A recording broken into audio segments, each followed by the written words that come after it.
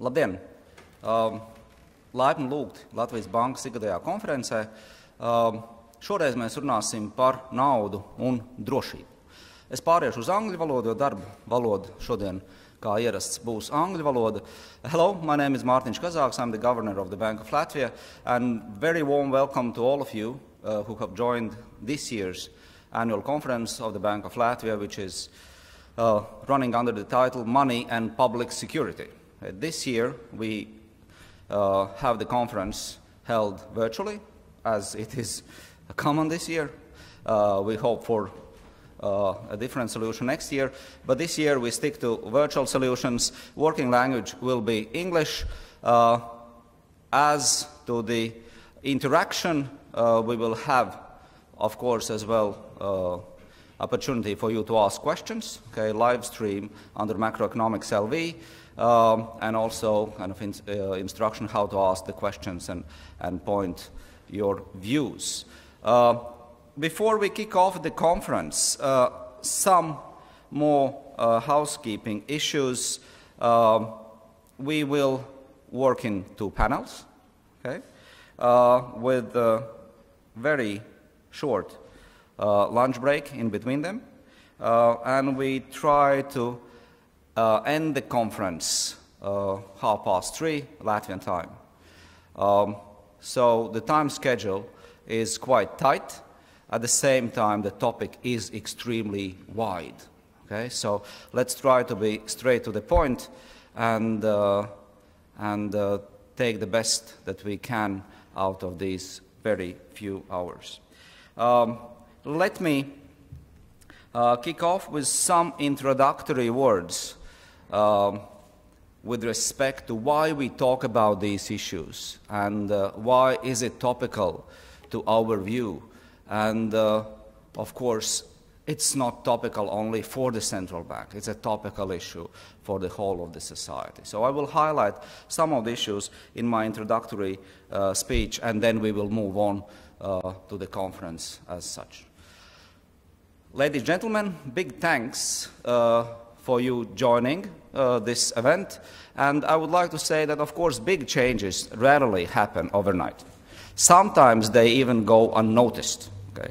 But when we look back, when looking back, we can almost certainly see all the milestones and road signs signaling the turns. I find today's conference quite symbolic. Okay? We are discussing digital issues, digital money, uh, and we are fully in a digital format, okay, as most of the things this year.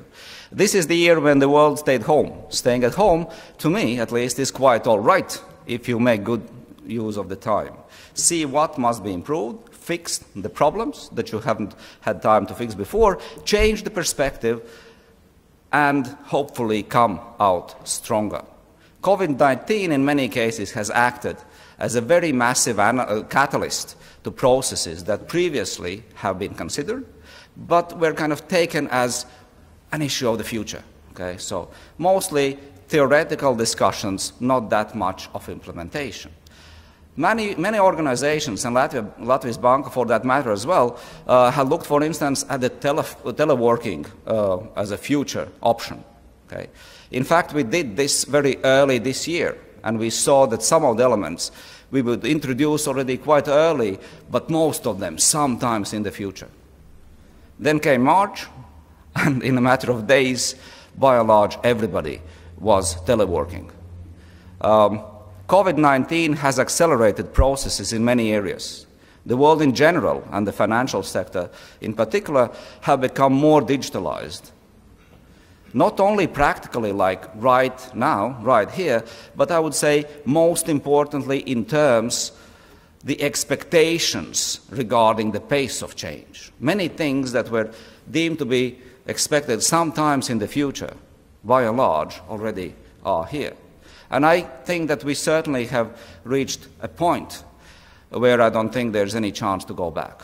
Uh, in terms of digitalization, uh, by all means.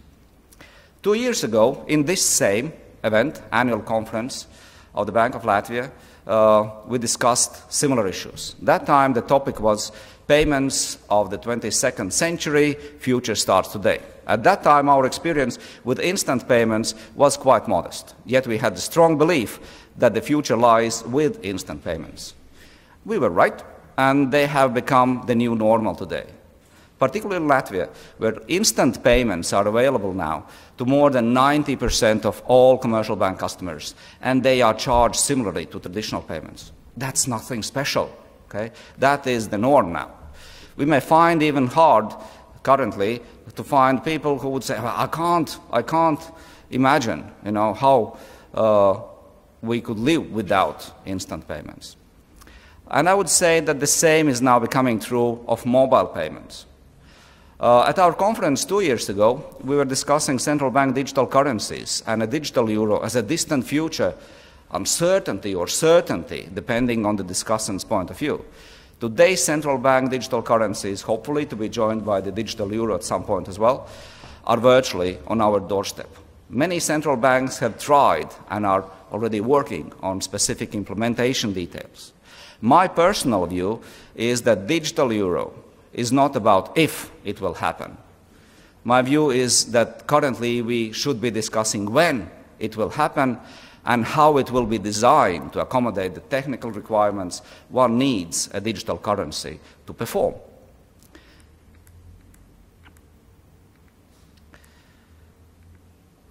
Okay, uh, yeah, here we are. Sometimes digital stuff uh, is shifting over. Uh, two weeks ago, and that's a very important milestone that I mentioned at the very beginning, the president of the ECB, Christine Lagarde, said the following at the Deutsche Bundesbank conference, and I quote her, here at the ECB, it is our duty to ensure that people have access to riskless, low-cost means of payment, as well as state-of-the-art payment services that reflect our changing economy. Christine Lagarde stressed that Europe should develop the autonomy of its own payment system and consider the implementation of a safe digital currency.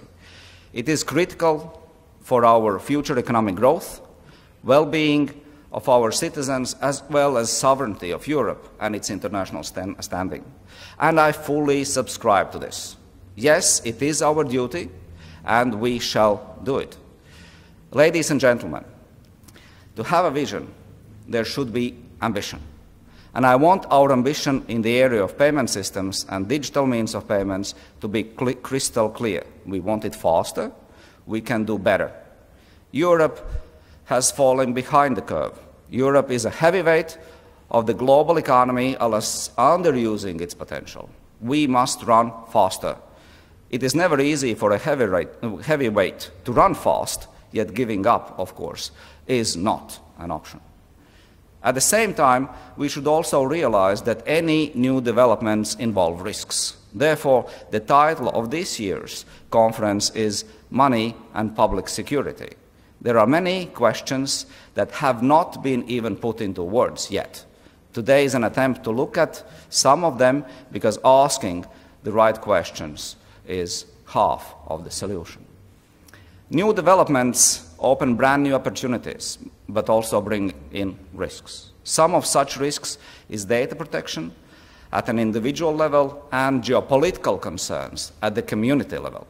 Convenient financial services provided uh, by, say, big techs, probably also the digital currencies, may seem quite tempting to all of us. But can we expect such global companies always act in the, in the interests of our people? How would such actors act in a crisis uh, to help us getting through the storm? Can we risk putting our future, our monetary policy, for instance, in the hands of somebody else? Ah, well, I don't think so.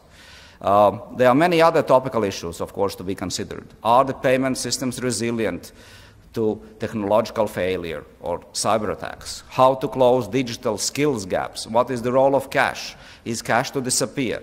Do we need a digital euro? These are some of the questions that central banks cannot, and I would say should not be answering on their own. Discussions with citizens and the private sector are important. involvement of citizens and private sector is critical. Private sector initiatives should be able to integrate with central bank solutions, including central bank digital currencies when they come. Uh, they surely are complements. They are not substitutes. Monetary policy, payment systems, digital currencies are complicated mechanisms, and only a small part of population do understand them. But all of us use them every day.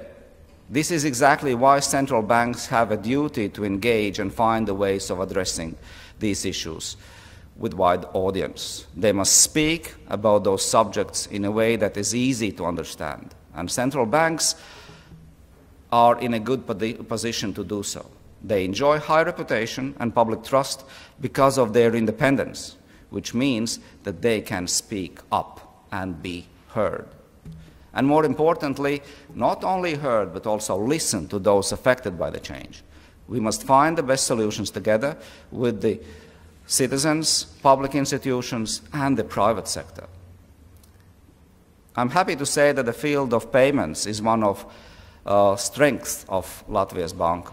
My sincerest compliments to my colleagues who have made it into the backbone of Latvia's payment systems, saying that in certain segments we are at the cutting edge of payment innovations in Latvia and Europe in general is by no means an exaggeration. Our instant links, for instance, that enables payments by mobile phone numbers only uh, is used not only by the Latvian uh, society but also by Estonian banks.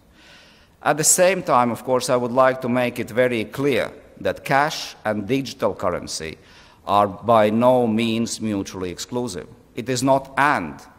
It is, sorry, it is not or, but it is and. So it is both cash and digital currency. Both are equally important. They are complements, not substitutes. Well, at least for the time being. Cash will remain an important factor of economic gravity and public security in a foreseeable future. This means that, from our point of view, uh, availability of cash will be an essential task that we will keep addressing. And finally, um, I would like to dwell very briefly on the concept of public good. What is the public contribution of Latvia's bank uh, as we perceive it here? We are using our in-depth economic expertise to help decision makers. We are educating the general public about sound management of personal finances. Among many other things, we are providing cash and payment systems, enabling the economy at large to feel safer and reduce turbulences. Monetary policy is a public good, although sometimes not exactly self-evident. People do not always notice the foundation of those things. But a strong and resilient foundation helps the society to be better prepared for the future challenges and makes Latvia and the euro area as a whole stronger. The euro is our currency, but the euro is also a global currency. We must make the full use of it, and it is one way to make Europe to maintain its sovereignty and be globally competitive. And finally, I would like, of course, uh, to thank all speakers and participants of this conference for finding the time to join us. Your contribution is highly appreciated, and I know that many truly high-level participants joining us today will help us to make progress in this long, sometimes bumpy, but always exciting journey. Let us switch on the high beams, illuminating the road ahead and enabling us to have a safe trip forward. Thank you. And now uh, I'm honored uh, to give the floor to His Excellency Prime Minister uh, Artūrs Krišjānis Kariņš.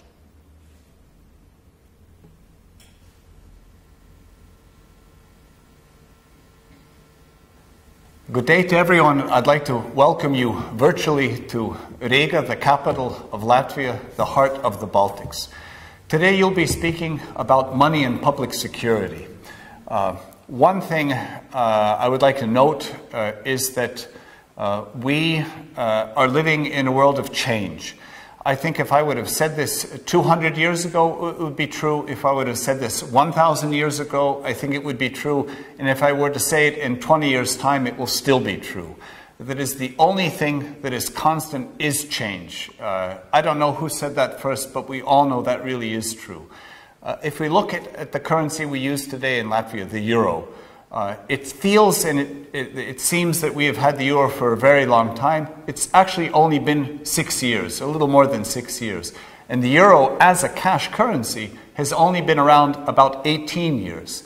So it's very, very clear that uh, change is ongoing, it's quite rapid. We're moving into a world also now with digital currencies. And uh, certainly, this is another uh, change which is happening, which many people simply do not yet appreciate under understand. Uh, so, I certainly uh, find the topic you're discussing today very timely, extremely interesting. I wish you uh, success uh, in your uh, debates today, and I certainly hope that you come to new fruitful realizations that is not only useful for central bankers, but that could also be useful for governments and government policy making. All the best. Thank you, Your Excellency. And I think that the key was um, the world is changing there are lots of opportunities there. Appreciate the risks, but the important thing is that the society has to benefit from it. Okay? Society has to benefit from it and also understand it. So uh, we will these, deal with these issues today. And uh, let me now turn to, to the uh, next speaker. Um, nowadays, the case of making cross-border payments is a key feature of any modern payment infrastructure that the global economy is global.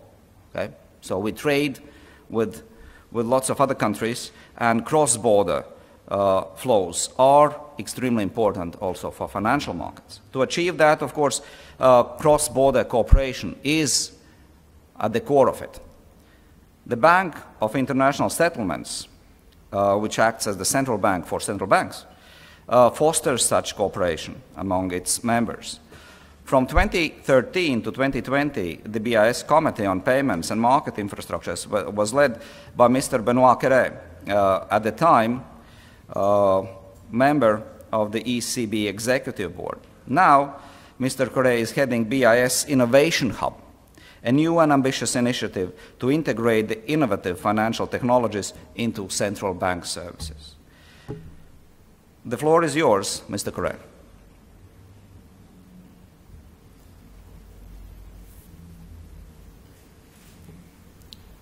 Do we hear it? Virtually today at your annual economic conference on this very timely and important topic of money and public security.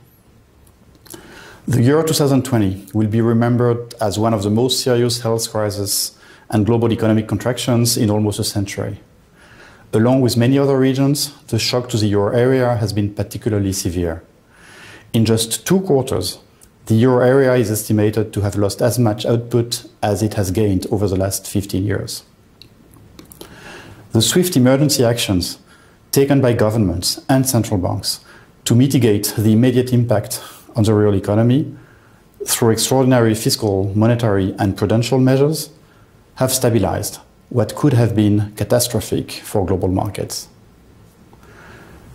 These actions reinforce today's conference theme that public security and universal livelihoods are inextricably linked to the public provision of money.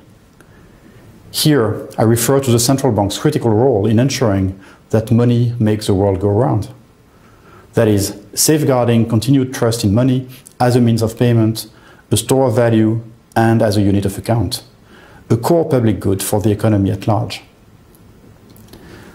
But the pandemic has also shown that while central banks continue to safeguard essential trust in money, it is technology that enables our globally connected world and the provision of money to go around.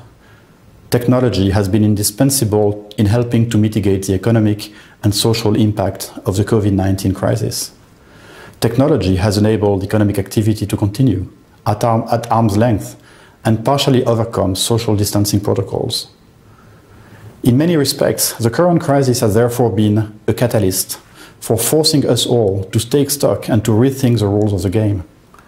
New ways of working that were previously thought as a fallback are now seen by many of us as a new norm. The ensuing accelerated changes in work and consumption patterns are likely to have a lasting impact on economic relationships. Digitalization has taken a leap forward.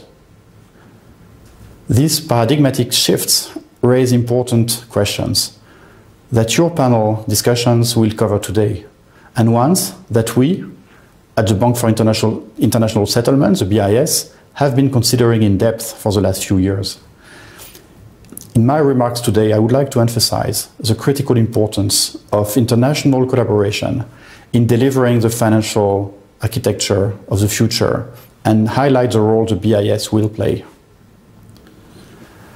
While the economic ramifications of the COVID-19 pandemic are still unfolding, the pandemic has accelerated trends in digital innovation that were already well underway. Consumers in many countries have stepped up their use of contactless payments. And as physical stores temporarily closed, e-commerce activity surged. Yet the pandemic has highlighted both progress and shortcomings in payments. While access to payment services has increased over time, it is still far from universal. Low income and vulnerable groups face the greatest difficulty in paying or receiving funds. Costs are relatively high in the retail segment, and those costs are not always transparent to end users. To reach the unbanked, some government to peers, G2P payments, have relied on paper checks, which take longer to process and may pose higher risks of fraud than bank transfers. Payments across borders are still typically slow, opaque, and costly, which is particularly the case for lower value payments such as remittances there is much scope to improve the quality of payment services in terms of convenience, transparency, and speed. However, differences in consumer habits across markets and varying degrees of maturity in banking systems and payment markets may impede localized solutions for greater interoperability or integration. Disparate levels of technological advancement and adoption can also create challenges for cross-border payments and the ability of public authorities to coordinate across jurisdictions. One key challenge, therefore, is how authorities and central banks can use their roles as catalysts and facilitators to spur digital innovation and increase interoperability or integration in cross-border payment services.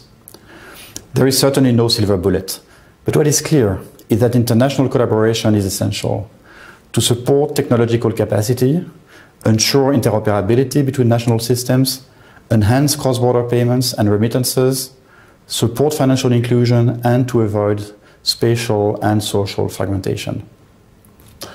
Now more than ever, central banks must serve as a basis for sound innovation in the digital era to maintain the safety, integrity, and stability of payments and money. All these developments make central bank public goods more critical, and central banks need to be at the cutting edge of technology to serve society. It is for these reasons that the BIS established the Innovation Hub to spearhead central banks' responses to digital innovation.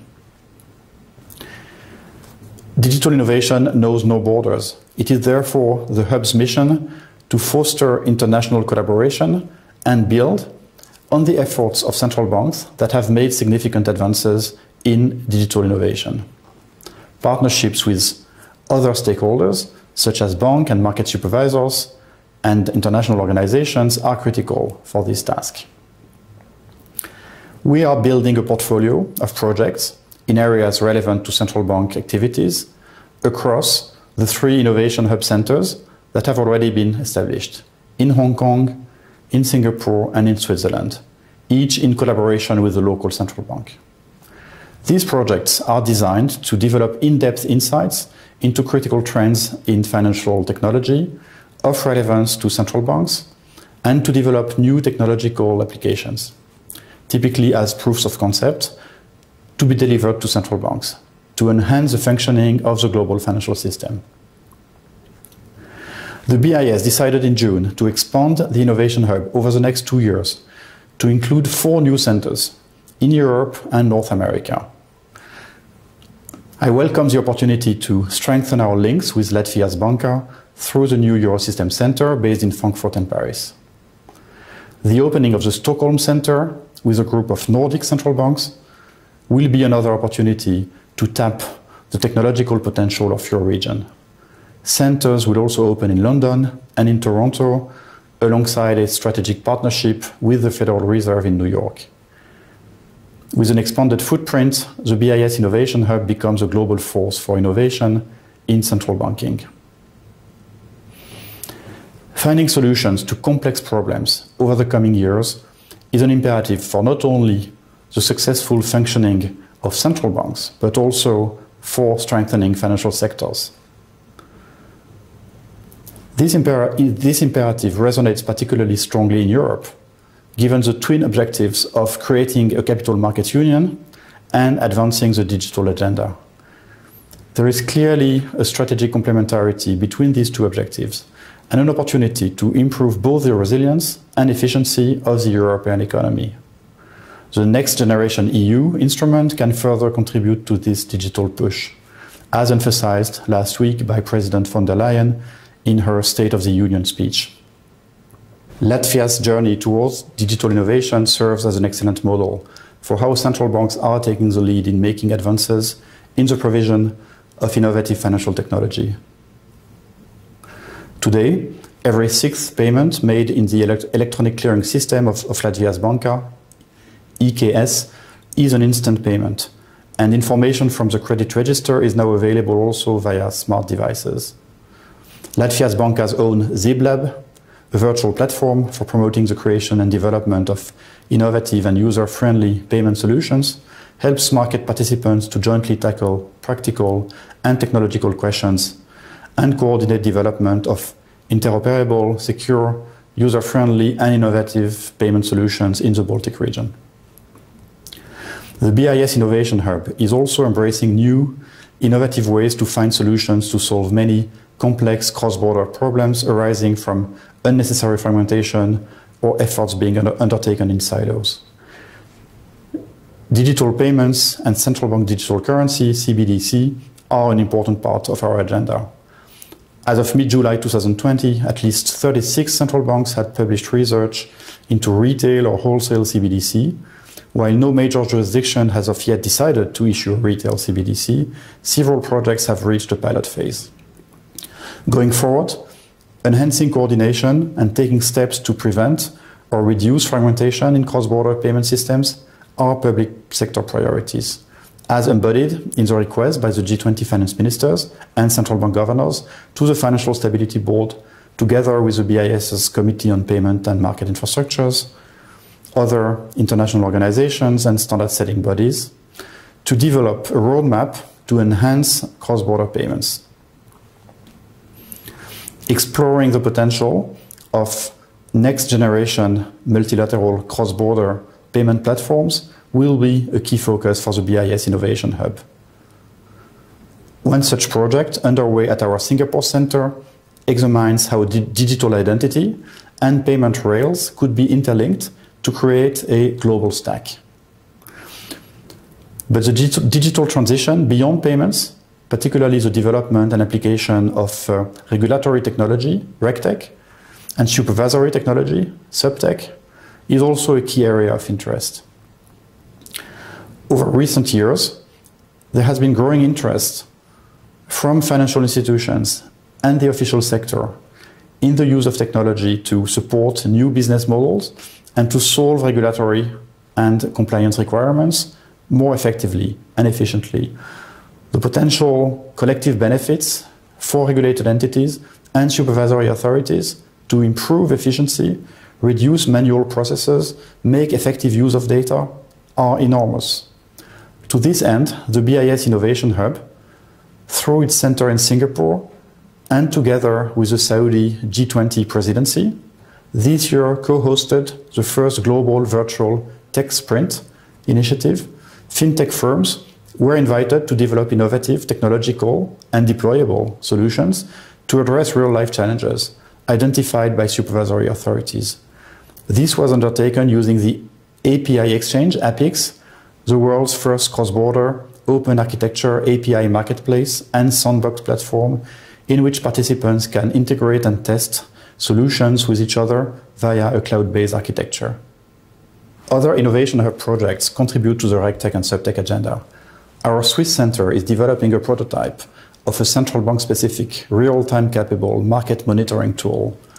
The cloud based stream processing platform will process real time financial data and compute relevant liquidity and market risk metrics. These will provide central banks with overviews of market conditions via customized dashboards and real time alerts. And we have many projects that go beyond RegTech and SupTech. In August, the Hub Center in Hong Kong and the Hong Kong Monetary Authority launched the Tech Challenge Digitizing Trade Finance initiative to highlight the potential for new technologies to enhance trade finance mechanisms, trade tech. Private firms were invited to submit innovative solutions focusing on connecting trade tech platforms, tech driven trade finance inclusion for SMEs, and trade tech infrastructure for emerging markets. In the coming months and years, as the world deals with the fallout of the pandemic and the shift towards digital finance evolves and accelerates, the Innovation Hub will work on finding real solutions based on practical projects to address ever more complex problems across an expanding range of areas. These include cyber resilience, sustainable finance, and the application of artificial intelligence and machine learning to central banking and financial supervision.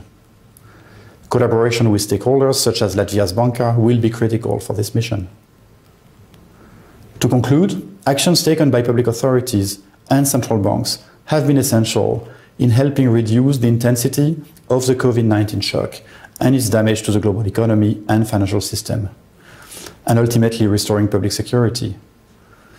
Multilateral collaboration and proactive actions taken by central banks will also be essential for building a financial architecture that is future proofed and resilient to withstand a large range of shocks. Technology and innovation will be front and center as we move forward into this new world. I thank you for your attention and I wish you a very fruitful conference.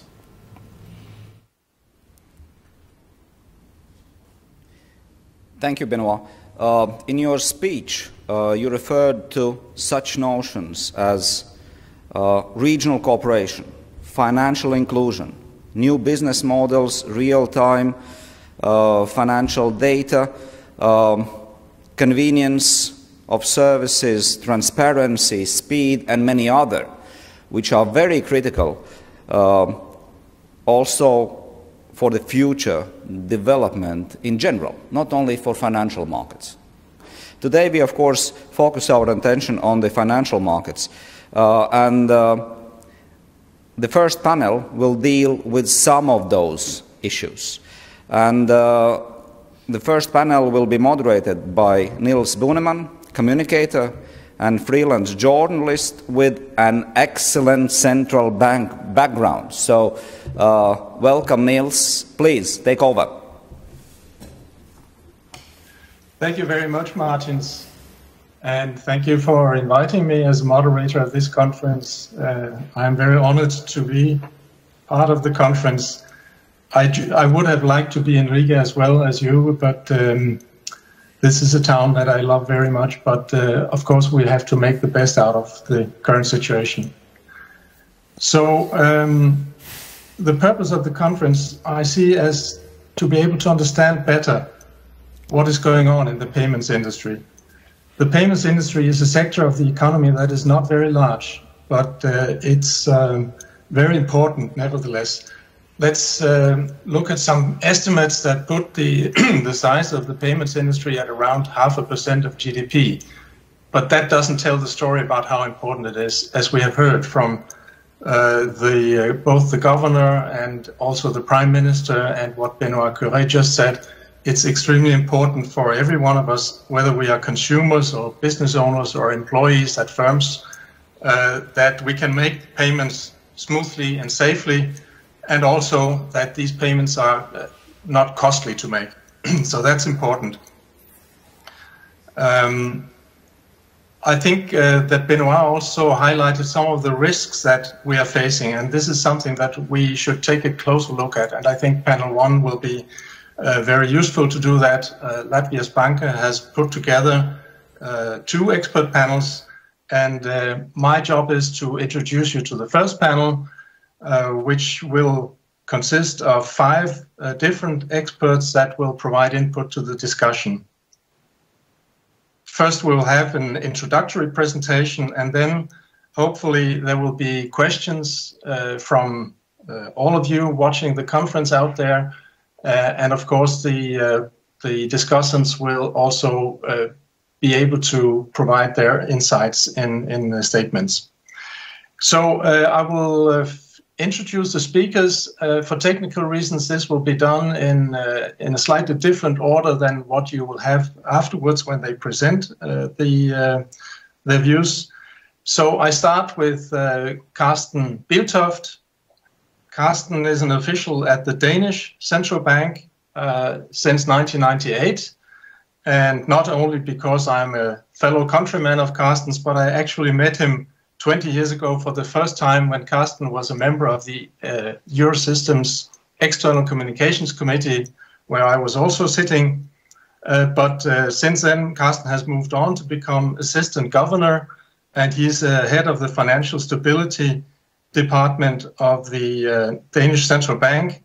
So today, I expect that he will give us some insights into the uh, financial risks coming from the most recent developments in, in payment technologies. Also joining us online is Franz Seitz uh, from Weiden in Bavaria. Franz is a professor at the uh, Amberg Weiden University of Applied Sciences. He's uh, teaching economics with a special focus on monetary policy and financial markets, but he's also been doing consultancy services notably for uh, the Bundesbank in Frankfurt, but also for commercial banks. And today, Franz will concentrate on what kind of consequences the reduced use of cash might have for the economy as a whole. And I think it's clear for, for everyone that cash will actually diminish in use, uh, but the, it will probably not disappear uh, completely. So Karsten and Franz are the two uh, remote discussants, and the other panelists are ready in Riga, as I see. Um, we have in the studio Harijs Ozols, who is head of the Information Technologies Department of uh, Latvijas Banka. Uh, in that capacity, uh, is responsible for the information systems and telecommunications infrastructure at the bank, uh, Harijs has been uh, on the staff of Latvijas Banka since 1992. And since 1997, he is head of department. So this is a man with a lot of experience. If we just think back uh, to uh, the times when uh, the internet was not there. So uh, in the beginning of the 1990s, when you started at the bank, Harijs, there was no such thing as online banking. but a lot of things have happened since then. So uh, it's quite a journey that you've been on, and I hope you will also refer maybe to this uh, historic development. Then uh, we have a discussant on the panel who is not coming from the financial sector, but rather from the field of defense and security. Why is that important? Yes, it's important because defense and security, well, security for sure is, uh, is a topic that we need to address privacy, uh, data security, and we're very fortunate to have Jānis Sārts on the panel, director of the NATO Strategic Communications Center of Excellence, which is located in Riga. Uh, the STRATCOM, as it is abbreviated, serves the NATO alliance by providing analysis and advice and practical support in strategic communications to the NATO member states.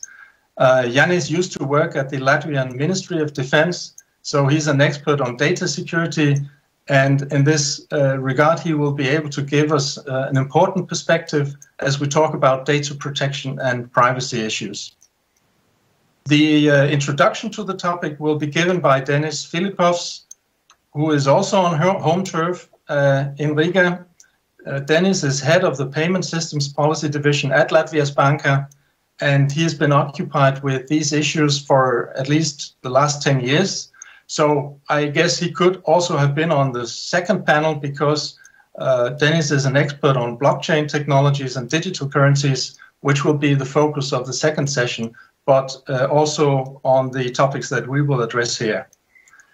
So I will give the floor to Deniss in a moment, but maybe just to uh, have a few uh, ground rules before that. Uh, Deniss's introductory presentation will last up to 15 minutes, and then uh, I will give the four discussants around five minutes each to give their perspective, and then we will start the discussion. And all of those of you who are watching, uh, you have the possibility to uh, ask questions on the platform, on the uh, website of the conference.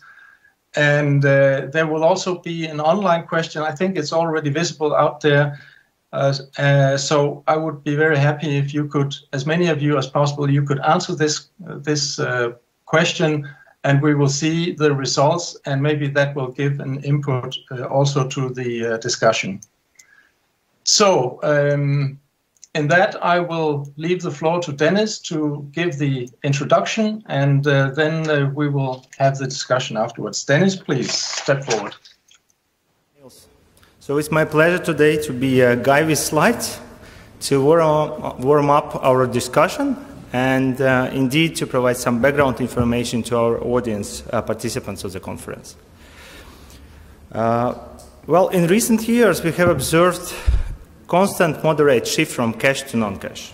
And every year, the share of consumers uh, preferring to use non-cash for their P2P transfers, shopping, and even to pay utility bills is growing. But if you compare the results of the survey conducted in August to the one conducted in February, we observed quite a rapid shift to non-cash payment instruments during the pandemic. Is it just a change of uh, attitude towards cash due to so-called hygienic uh, bias that banknotes and coins may transmit the virus? Or we can already assume that um, it is irre irreversible uh, tendency and situation. Well, I think the future uh, will show us how strong the trend is. But then you may doubt if cash is still a king. And here I would like to refer to newest euro area data and um, announced recently by the um, president of the ECB, Christine Lagarde. So in 2019, nearly 73% of individual consumers transactions were carried out in, using cash. And if you compare it to the one uh, study uh, of 2016, then there is a moderate decline uh, by 6% only. But you may think that euro uh, in the euro area cash usage is still relatively high. And then I would then quote uh, Euromonitor International, who say that more payments will be made through card than cash in Germany in 2020. And this is a, first in the history situation to the German payment market. Well, uh, Euromonitor International, uh, I quote again, says that total card payment transactions value in Germany is projected to surge by 28%, while cash transactions will drop by 34 in next five years. And well, their study showed that a growing number of, of Germans started to use contactless card uh, function and smartphones for mobile payments for the first time. And this actually uh, goes very much in line what we have observed in Latvia. Uh, quite many people started to use contactless payments, contactless cards. They uh, uh, become more open for this new technology. And indeed, when we experienced the lockdown, when uh, all physical shops, the majority of physical shops were closed, people started to use e-commerce, internet shopping, and indeed, uh, I would say many of them found this experience positive. Digital revolution is transforming our lives, and especially the way how we interact and how we make payments. However, while there has been enormous development in the area of retail payments during the last decade, our, our opportunities or instruments we can use to make a payment still are the same. And we can, well, the typical situation, what we can see uh, before entering the physical shop is that as regard to non-cash payment instruments, we can use payment cards. Yeah. For the most cases, they are Visa and MasterCard. Well, if you try e-commerce, perhaps you will be offered a bit broader uh, list of opportunities. Sometimes you can use electronic money. Sometimes there are uh, so-called third-party providers uh, leveraging uh, PSD2 benefits of open banking. And uh, indeed, some retailers may, may provide a wider choice, and most innovative and most advanced will offer you instant payment to pay, your, uh, pay, pay for your purchases to pay for your goods and, and, and services. Nevertheless, if you have another look on all the pictures and, and, and show, screenshots I, I, have shown, uh, showed you, you may find that everywhere there is a dominance of Visa and MasterCard, and uh, to be precise, American-based international card organizations. In addition to that, I would like to mention that global payment markets are undergoing further transformation, and rapid technological progress and regulatory reforms, and especially rising tech industry initiatives, in particular uh, by large global technological giants, have led to unprecedented dynamics and are putting established banks and payment service providers under considerable pressure. Well, in this environment, there are clear signs that Europe is at risk of losing its economic edge. And uh, yeah, the, this demand, uh, demand dependence of, uh, of, on non-European global payments create a high risk. While country-specific solutions lack the necessary size and, size and, scale, and national fragmentation has paralyzed competition and uh, stifled innovation on pan-European level, in the worst-case scenario, this may endanger the autonomy of European payment system. In addition, I would like to mention that, indeed, systems supporting payment solutions have to modernize along the people who use them. And Latvijas Banka here is a good example because Latvia was the first country in the Eurozone to introduce instant payment infrastructure in accordance with pan-European rules. In addition to that, uh, I'm proud to, uh, to mention that Eurosystem supports payment innovation, providing also back-end payment solutions such as target instant payments settlement TIPS service, allowing its participants to settle central bank money 24-7. But it's clear, it's not enough. And uh, since private sector has made far less progress on delivering pan-European solution for instant payment, the way forward is an ambitious pan-European strategy that facilitates instant, secure, and inexpensive payments. An active involvement of the European private sector is required, and only then there is a potential to make up lost ground and meet the rising needs of consumers for efficient and convenient payments. I will stop here and I wish you interesting conference and fruitful discussion. Thank you.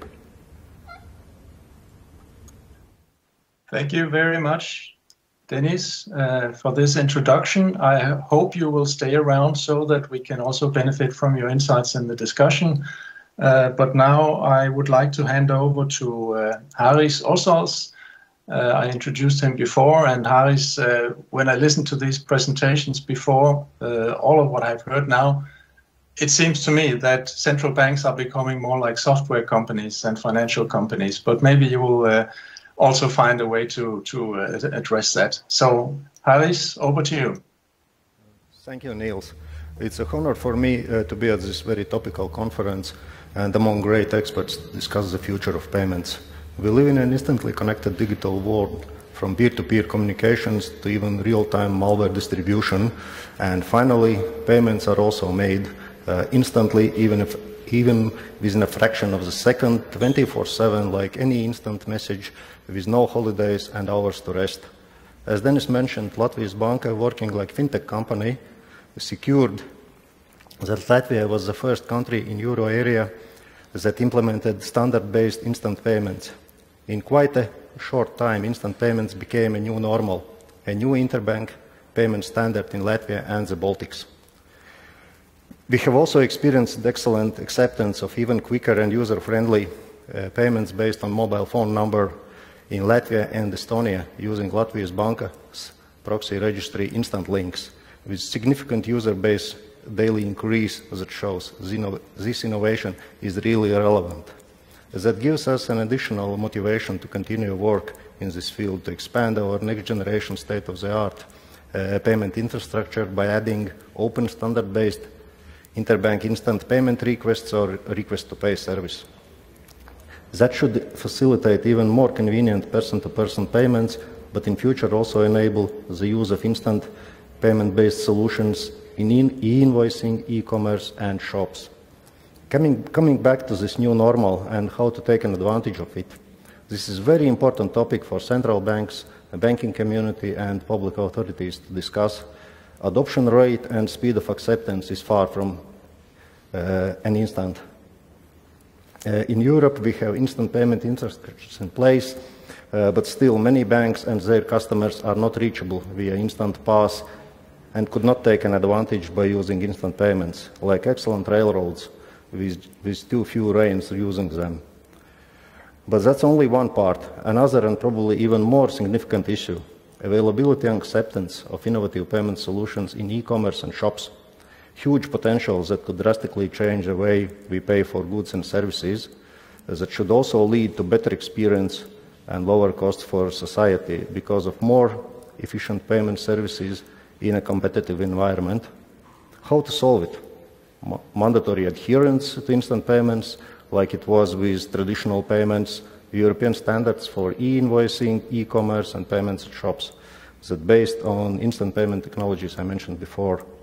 We should welcome and support ideas in this field and find a way that merchants could adopt these innovative uh, payments that have a European brand and European governance much easier, taking into account cost, technical consequences, and some even more important consequences arising from a rather locked duopoly-based uh, payment card environment, as well as from big tech uh, companies.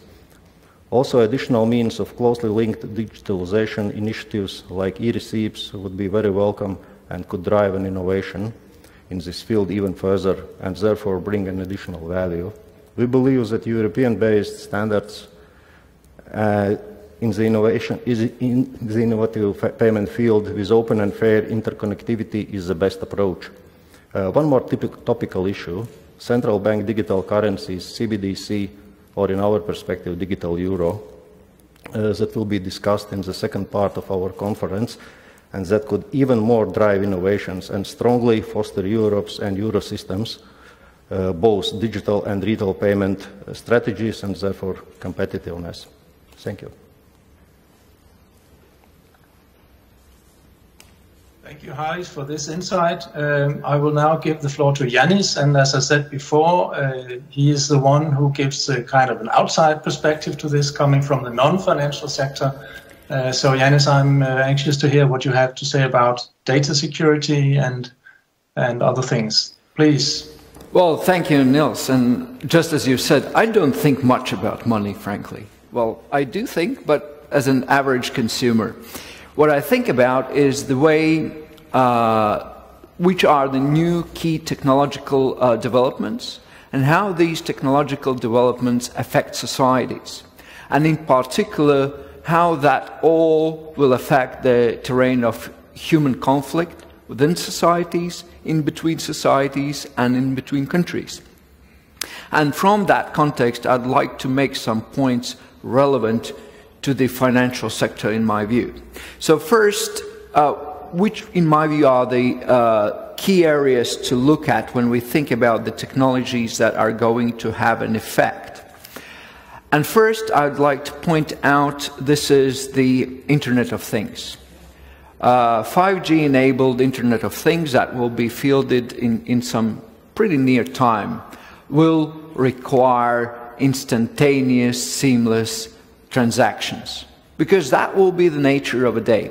All, all of the, these things will be around, services instantaneously available, and at that moment, at that time, we'll have to get them and pay for them. So there'll be increased pressure for, for, for getting the, the financial system that provides for that. That's the first thing. Second technology to me, which is very important, is big data. And we all have, I think, uh, seen this uh, claim that big data is new oil. And if you think about it, obviously, uh, most of the key future technologies will depend on big data and the quality of big data. And currently, we see a lot of that data is being used by big tech companies to create their competitive advantage. And in many times, people give up so much of personal information that can be then crunched and then used in so many ways. And of course, our financial data or the way we use money, the behaviors and etc., are very, very interesting data. That if we or someone uses that and has a quality amount of that and feeds into the third technology, which is, I think, relevant, and that is AI, you can have close to a miraculous outcomes and not only to predicting the economic trends, people uh, behavior shifts, or what uh, this group of people going to do next week, but to the point where you have an access to the control of a human behavior. As an institution, we, we, we uh, recently asked that kind of question, how much you can use big data, AI combined with AI to, to actually shift the human behavior. And we did it in our circumstances, which is the military. So we uh, made an experiment within um, the Latvian military exercise where we tried to use the open source data and then AI systems to see whether we can shift soldiers' behaviors in the field. And we were able to make them disobey orders and do the things that they absolutely shouldn't do. And it just points out to the direction and the power of data combined with AI. How that is relevant to, to, to the fiscal system because there's a very much value in that data. So what I see there will be a, a, a big push for getting access to that data to get the competitive advantage within the uh, economic world, to get the geopolitical advantage in a kind of global competition. And the last thing that I want to add to that is that there is an added layer, and that is there are different ways that you approach this possibility. From a democracy point of view, we rely on individual having free will and free choices. And we've seen time and again when technology gets unchecked, like sometimes with Facebook and elections, that gets in the wrong side. But when we look at the authoritarian systems, they in fact are trying to use these technologies to achieve what they aim to achieve, and that is control of the populace. And as in some of the countries, we see there's increasing trend to get all of that data, not only to, to have a knowledge of the society, but actually de facto have a control over these processes. And that poses, in my view, the challenge how we, when innovating and using this possibility of the technology, how do we protect the privacy? In fact, sometimes my question is where the line is. What is the data that one we can use? Because there's a lot of positives we can take away from the fiscal data that we will be able to amass. And where's the line when crossing that? We would be uh, intruding into individual freedoms. And that, with all due respect to all the regulatory frameworks we have, has not been answered. And if we do not do that, in my view, we will be in a very bad position because some nations and some uh, governance models will be and are extremely aggressively pursuing getting these data for the control of populace. So we might end up in a, in a situation where not only we have some companies misusing that, but we can end up some countries actually by having the technological advantage, using that advantage to gain certain uh, influence over our own internal society processes and etc etc so to me this is not only about the convenience this is not only about the uh, fiscal processes this is as fundamental as the way we will see our societies run and whether the key values that have made us successful in Europe, in the West, that's individual choices and freedoms, can be upheld in this new tech uh, driven world. And this fiscal element, the, the, the data stemming out of our, our um, financial behaviors, are going to be one of the key, key areas of the contest. Therefore, I see we have to look in the future, how do we regulate for that future that is to come? How do we innovate for that future that it is to come? And how do we um, prepare our structures and processes for that future to come? If not, we will repetitively come to a, a, a fait accompli which we don't like. Thank you. Thank you very much for that, Jānis. Uh, I did expect some scary scenarios from your side, but uh, it was not maybe quite as horrifying as as uh, one could have feared. Uh, so uh, I think it, there is a basis for a lot of discussion here. Uh, we will now turn to the remote participants, and I will start with giving the floor to Karsten. Karsten, Jānis just told us about some risks uh, involved in the development of these payments technologies or other artificial intelligence, as it were. Um, but I think you will address other risks and also some financial uh, implications of the uh, developments. Karsten, the floor is yours. Thank you very much, Niels. Uh, thank you for the introduction. Let me first of all say thank you uh, for inviting me here to the conference. It's a great honor. Uh, yes, Niels, I'll try to touch a little bit on cyber risk, which is something we've been addressing. Now, the, the uh, title of this conference is Money and Public uh, Security, I'll try to touch on both of them. Firstly, by giving you some insights on the development in cash. Am I getting through all right? I have an echo here. Uh, and secondly, as I said, uh, something on our work on cyber uh, resilience. I think we had agreed. I, I brought some slides with me. I'm not sure whether they are shown, uh, but if they're shown, please uh, shift to the second slide, uh, where I give you some highlights on the use of cash. Now, it's clearly that the, the use of cash has been declining uh, everywhere, also in Denmark.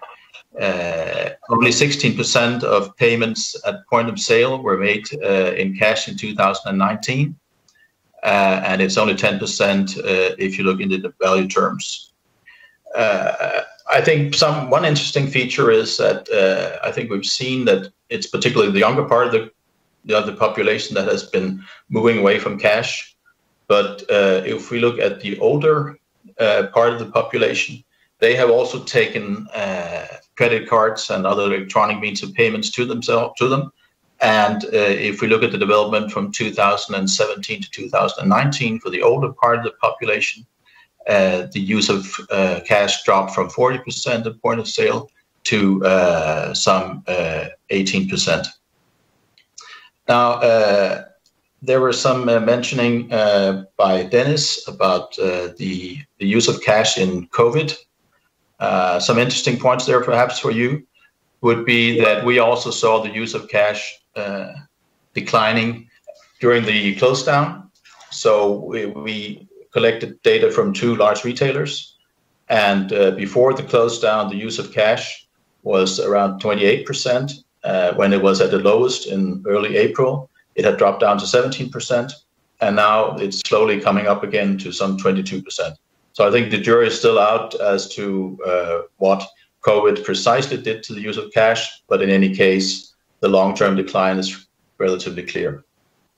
And perhaps one paradox during the COVID-19 crisis was that while the use of cash in society was dropping, the circulation of cash in fact increased. So the amount of notes in circulation uh, increased from some 62 billion Danish kroner to some 66 billion Danish kroner. Uh, it's slowly beginning to come back, but so the paradox is uh, cash was not used, but it was hoarded.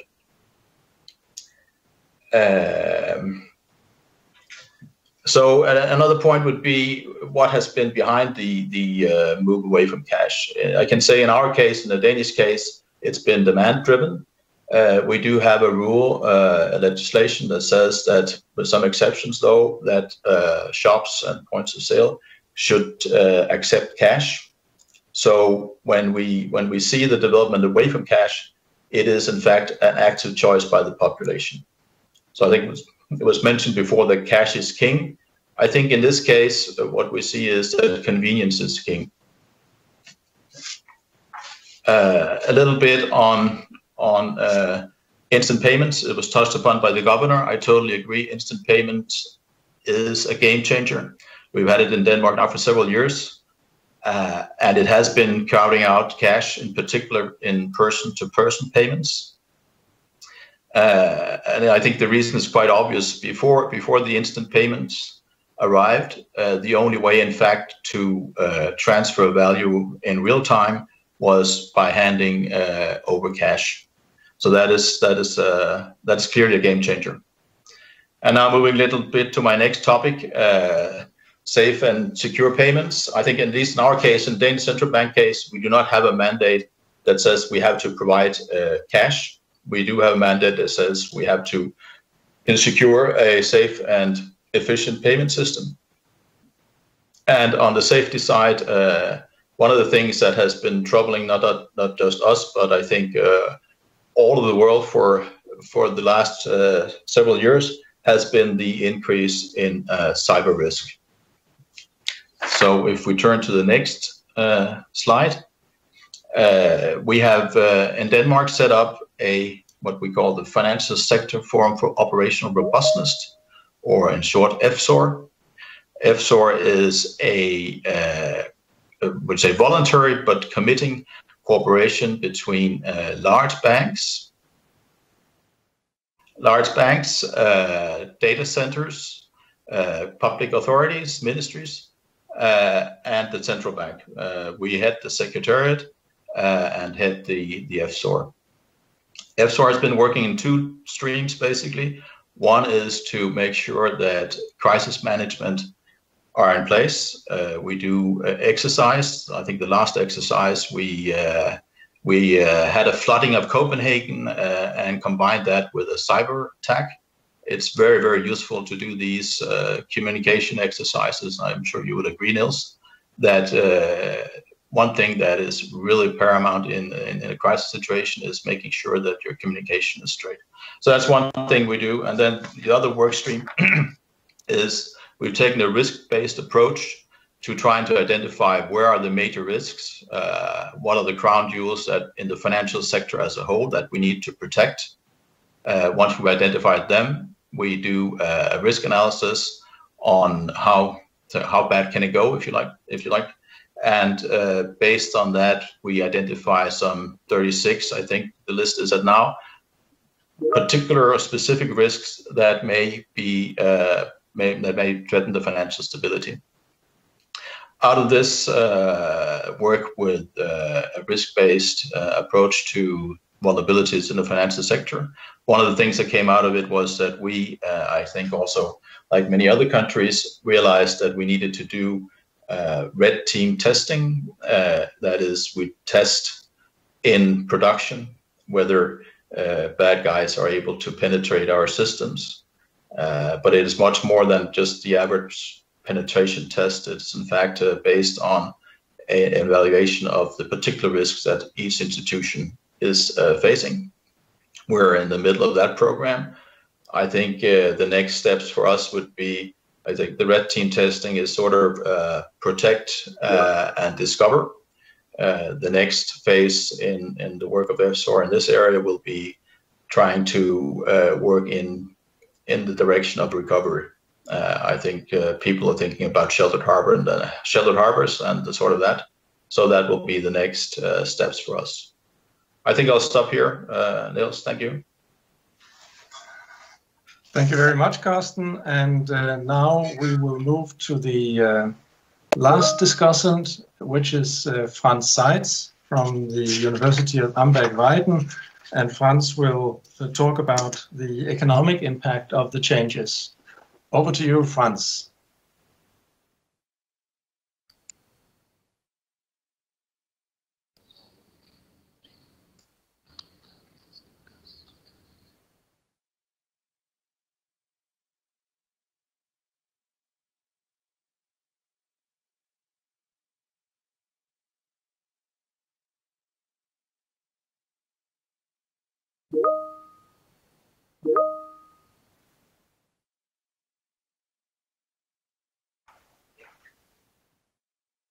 Franz, we need you to unmute.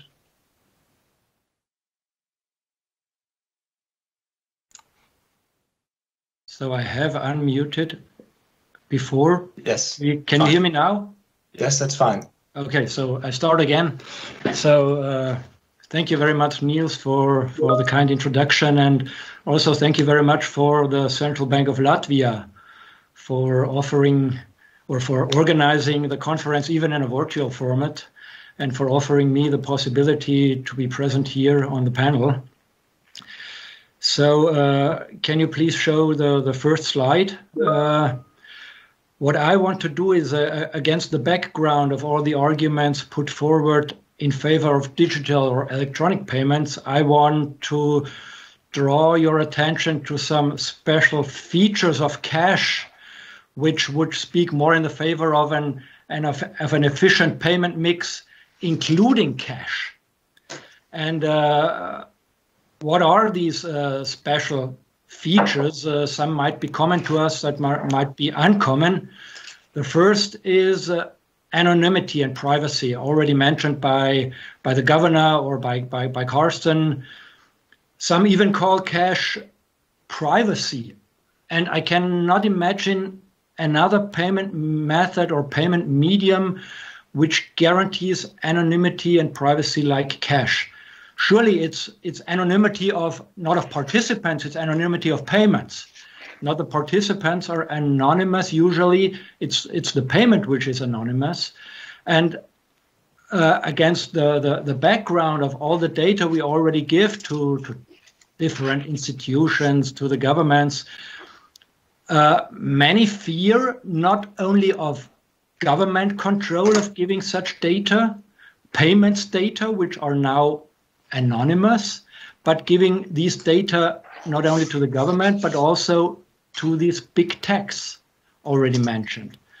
And if the if we would have no longer this anonymous payment method, like cash, mostly who is affected is the buyer the buyer who is usually anonymous and if we have wouldn't have this anonymity for the buyer what would be the consequence? The consequence would be first of all behavioral changes on the side of the potential buyers and second fewer legal transactions in my view. Second argument is yeah cash helps or is a shield against uh, breaking through the effective lower bound on interest rates of uh, highly negative interest rates, which is now a common situation nearly all over the world and which should enhance the effectiveness of monetary policy. But even if, if this is true, if it, if it enhances the effectiveness of monetary policy, you should be aware of the fact that such negative interest rates, they work like taxes. They are uh, a burden on the whole economy. It's not only that it's a burden for the savers and it's an advantage for the debt debtors. It's a burden for the whole economy. It creates excess burdens for the economy, which have to be taken account and ha which have to be weighed against the possible positive effects of negative interest rates of stimulating the economy. Second is, up to now, it's only cash via which the, the general public has access to secure central bank money. What would happen if we have a, a, further decline or even a complete vanishing of, of cash? What be the, would be the consequence? Yeah, then the general would have no possibility to access central bank money. And in my view, then there would be an enormous pressure on central bank to issue some other variant of central bank money available to the general public. This might be in the form of a CBDC, but must not be. It can also be an account uh, accessible for the general public. But even if it is a, cent a, central bank digital currency, currency or some other form of access to, to central bank money, we have to be aware that we enter unknown territory with unknown consequences for the financial system, for the economy, for financial stability, and so on and so forth. Fourth point I want to mention is what happens with the competitive situation on the payments market if cash is no longer there, or if we have reached a lower threshold of cash where it's no longer profitable for banks to guarantee access of, of cash and for retailers to accept cash. What would happen? Up to now, the situation is, is as follows. Cash acts as a kind of disciplinary device for card providers. And on the other side, cash is a kind of serves as a kind of benchmark in the regulation of fees, for example. For example, uh, think of uh, the regulation of interchange fees. There, cash was the benchmark for the fees, for the card fees. What happens without cash? What is the benchmark there then? Is Visa then the benchmark for MasterCard? Or is Apple the benchmark for Google?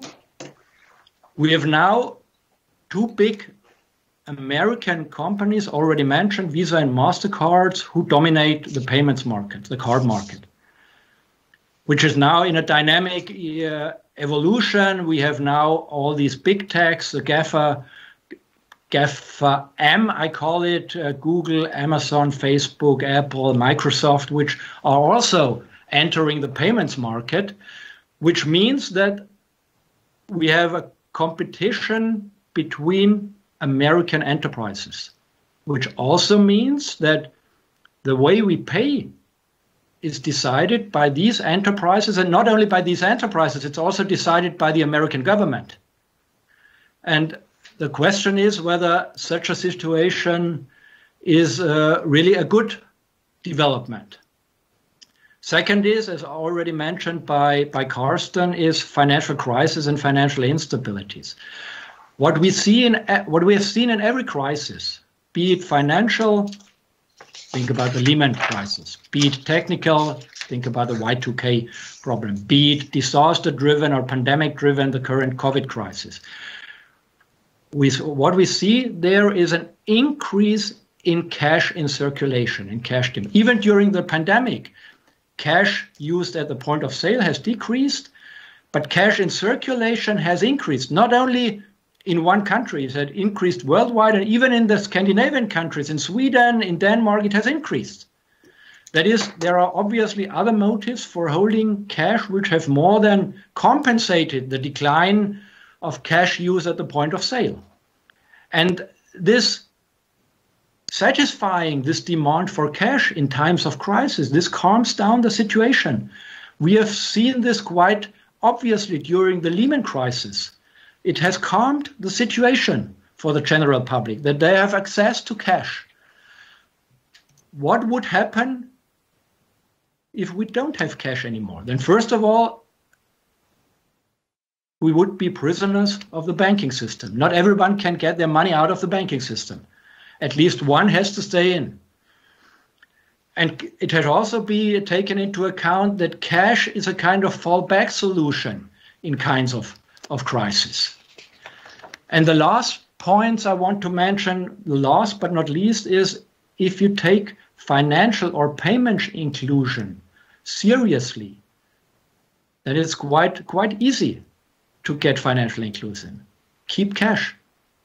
Cash is uh, the simplest payment method you can imagine. Old and young people can use it well-educated, not uneducated people can use it. The rural pop, rural population can use it. The urban population that can use it.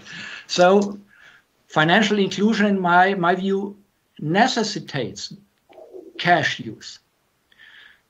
Taking all these aspects uh, together would need, in my view, an economy-wide perspective and not, uh, not only taking special stakeholders of the cash cycle into account, not only banks, not only retailers, but take the consumers, the central banks, the banks uh, all together and not only look at the costs, but also look at the benefits from an economy-wide perspective. And there is a special role, in my view, for central banks in this direction. Up to now, nearly all central banks emphasize that they are neutral with respect to, to cash or cashless payments.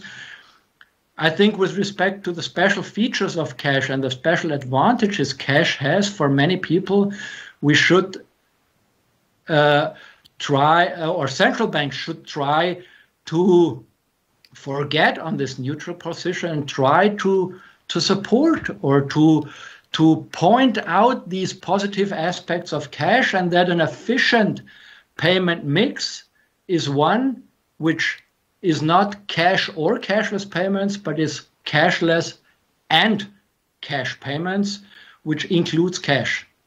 I stop here. Thank you very much. Thank you very much franz uh, very interesting. I did expect you to be an advocate of cash, uh, but you came out very, very strongly in, in that in that way. So thank you for that. Uh, obviously, your country in Germany is a place where cash is very popular for many reasons. Uh, among them, also this uh, privacy issue that you have mentioned and that other participants have mentioned. So I think there are three key words that evolves from this.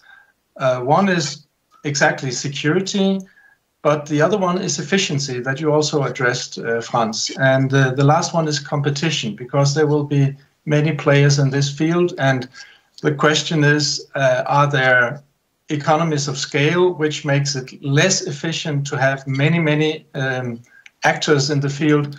Or is it more important to have the competition to uh, to let efficiency thrive? I think that is something that we should look uh, more closely into.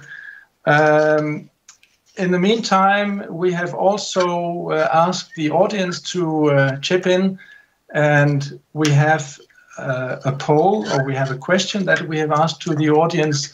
The uh, question goes like this Do you personally expect to benefit yourself from the future development of payment technologies as we have described them in this? Uh, well, as the speakers have described them, and uh, I don't know if we can get the uh, preliminary result up on the screen. Otherwise, I can report that quite a lot of the audience have already responded. We can continue voting on this as we go along. But uh, the current result is that uh, a very, very large majority is extremely optimistic about this. So almost 80% of the respondents have said, yes, I do expect to benefit. So there is kind of an expectation that this is a positive development. And maybe the risks that have been highlighted have been, let's say, going more into the background uh, of people's minds.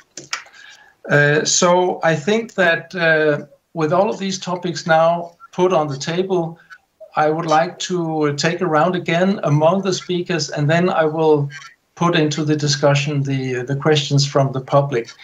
Uh, I think Deniss Fiļipovs is still with us, and Deniss, I wonder if you would care to uh, comment on some of these issues that were raised by the uh, discussants, especially maybe on the element of the future of cash.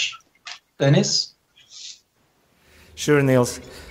Well, um it's uh, quite obvious that development is uh, ongoing, and uh, well, thanks to Jānis uh, mentioning uh, more, um, many more technological issues and, and risks, um, complementing uh, the some risks I have highlighted before. Um, I would say that well, new opportunities provided by new uh, players on the market are quite well weighted and well considered in terms of benefits they intend to bring to, to the end user. Even they may come with some risks. And uh, this poll result perfectly uh, shows uh, my, my assumption and my view here, uh, and, and it proves that people would be willing to use new technologies and, and would be uh, willing to benefit from future development of payment technologies, even they bring some risks. Our role as central bankers to uh, come with such a policy uh, being able to mitigate those risks as, as far as possible, but in the same time being able to balance user convenience and, and safety and security. And if you ask me about the um, future of the cash, but well, I think we have already touched such a a bit philosophical topic today. Well, we can, uh, we can discuss uh, how many years we will still have physical coins and banknotes, 10 or maybe a bit more, but we already, uh, we are discussing digital cash. So cash will be there. The form will change indeed, but, but the cash as such, I think we need it because uh, there are no any other payment instrument that can provide us currently the same level of privacy.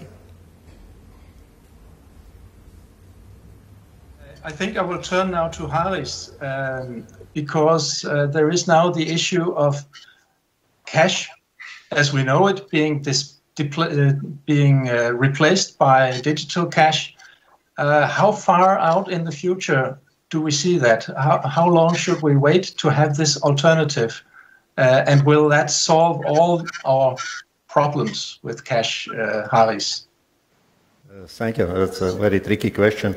And also, Governor, in his speech, said that central banks will are working on central bank digital uh, currencies to avoid and to eliminate the risks uh, uh, Franz, Franz mentioned and have all security issues in place, including uh, access to central bank money in digital cash format.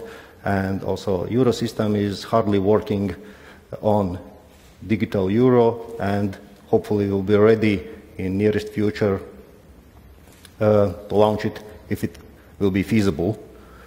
Uh, for how long it, and of course, central banks will continue to support cash and uh, digital cash or digital euro will be just a, as a complement. That's all from my side. Okay, thank you very much. Uh, let's move on to Jānis, and later on I will maybe mix it a little bit more. But uh, Jānis, you have uh, talked about the uh, the risks of big data uh, now, I don't. I know that this poll that we have just conducted is certainly not representative, but it seems to me that people are not so worried about uh, the risks entailed. Are they a little bit naive, maybe?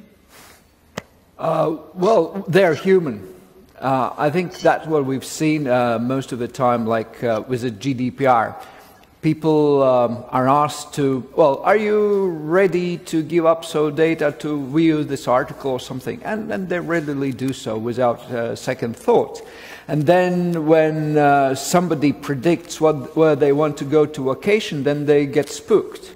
And they think that the, the, the, the services are listening to them and etc., etc., omitting the fact that all of that has been done based on the data they gave uh, themselves to the companies that predicted their uh, next choice. So I think it's, it's, it is about uh, the way we are as humans. And also, it is important to say that there's no way to roll the clock back. We're going to go forward. The progress is going to take place. For this time, what is the key adjustment areas? It's not driven by the governments. It's driven by the technological companies and the, the level of revolution is unprecedented, if I may say so. So I think that is our role within the governments and the academic circles to, to put the framework so that it goes in the direction that doesn't disrupt some of the key features we value as humans. Because I think some of the key stakes are, are some of the key areas are at stake. And also, one thing that I wanted to add on we should not think only of the American big tech companies. Of course, yes, they, they, they, are one of the ones that we see first and foremost and more, most aggressive sometimes, but we have to remember of the Chinese tech companies as well. And if I have to compare the, the, the data practices and security practices of two, I think there's a marked difference. So I think we have to also put these things into the context. And that's once again, I think for Europe, one of the things that we can do together is, think more of the framework and the rules within which these technologies have to fall, and in a way, probably in at least that area, steer the development. Although, of course, I would say that we also need to have a technology innovation more in house than we've had so far. Thank you very much, Jānis. Uh, I now turn to Karsten. Uh, Karsten, there's a lot of there are a lot of issues here that you can choose from uh, to comment on. Uh, but maybe uh, what uh, Jānis just said: Do we steer the development? Are we ready to steer? Is the central bank ready to steer the development? And has does the central bank have the means to steer? if you would like to comment on some other issues, please feel free. Okay, thank you, Niels. Perhaps I'll start somewhere else. Uh, I think all the discussion about cashless, I mean, you could argue that with the amount of transactions that take place today in cash and the amount of transactions that take place electronically, we do, for all practical purposes, live in a cashless society. But if you, by cashless, mean there are no cash, then I think my point would be uh, it's going to be less cash, but it's not going to be cashless in the sense of no cash at all. But that, that was just a remark on that. I think where, where is the where is the uh, development going? If we look at our own data uh, and we look at the young people, they have in fact uh, used credit cards less at point of sale, but they have markedly increased their use of mobile pay via the phone. So I think for me the future is uh, that's also the ambition of ECB and the Commission is to create a, a truly European instant payments, not just the settlement platform in, in the form of tips, but also the the uh, the applications that are needed to reach the consumers. Because that I, I, have absolutely no doubt that that is where the future lies. Uh, then on, on do we control? I think just one point. I, I see the point of big tech. I also see the geopolitical issues. Uh, I sometimes we should perhaps remind ourselves that this payment system business is scale and scope business. So it's no wonder that it's the big techs that are there. They have the platforms to reach lots of people. So one issue is, do we like that at all, period? Or another issue is, do they abuse their market power? Because I think being a monopoly is not in itself a crime. It is the abuse of a monopoly power that is a crime. But I do understand all the issues that have been raised in terms of European identity and security. Thank you. Thank you, Karsten. Uh, now, uh, Franz, uh, you talked about competition and efficiency. Is there a kind of a contradiction between the two? Uh, just a practical example uh, from the cashless future that we are maybe facing, or uh, less cash, as Karsten said. So, if you're a shopkeeper and you basically don't want to have cash, but you have you are forced to take cash. So you need to have a tiller in your shop that maybe is used only once or twice a day. That's not very efficient to me. So is there a, a kind of a contradiction between uh, having cash because we want to have this anonymous payment system, payment uh, methodology, but it is actually something that is quite costly. What do you think, Franz? So uh, thank you, Niels. May I first uh, make two remarks, uh, two two other remarks before I come to your question? Sure. The first is, so what we see worldwide is we have a declining use of cash at the point of sale.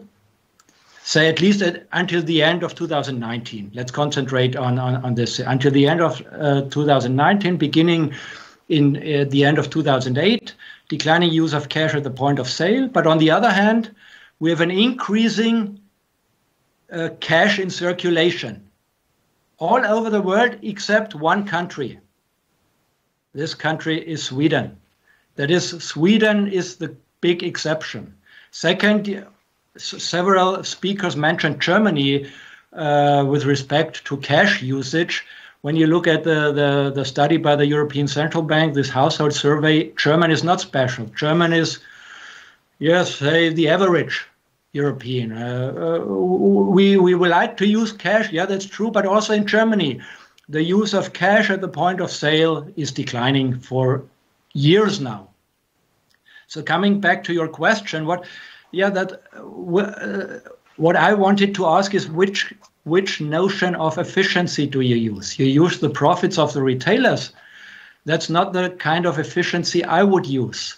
I would use an economy-wide measure of efficiency, which takes all stakeholders into account and says, yeah, maybe there are costs if we have a certain threshold and beyond which uh, the acceptance of cash by retailers is no longer profitable and guaranteeing the access of cash by banks is no longer profitable. This has to be taken into account and with this have to be weighed against the possible advantages consumers or people have or the economy as a whole has by using cash, by guaranteeing access to cash. Maybe then it's no longer the central, uh, the, the, the commercial banks which can do that. Maybe it's then the central bank which has to do that if there are really these efficiency gains by using, by having a payment media like cash.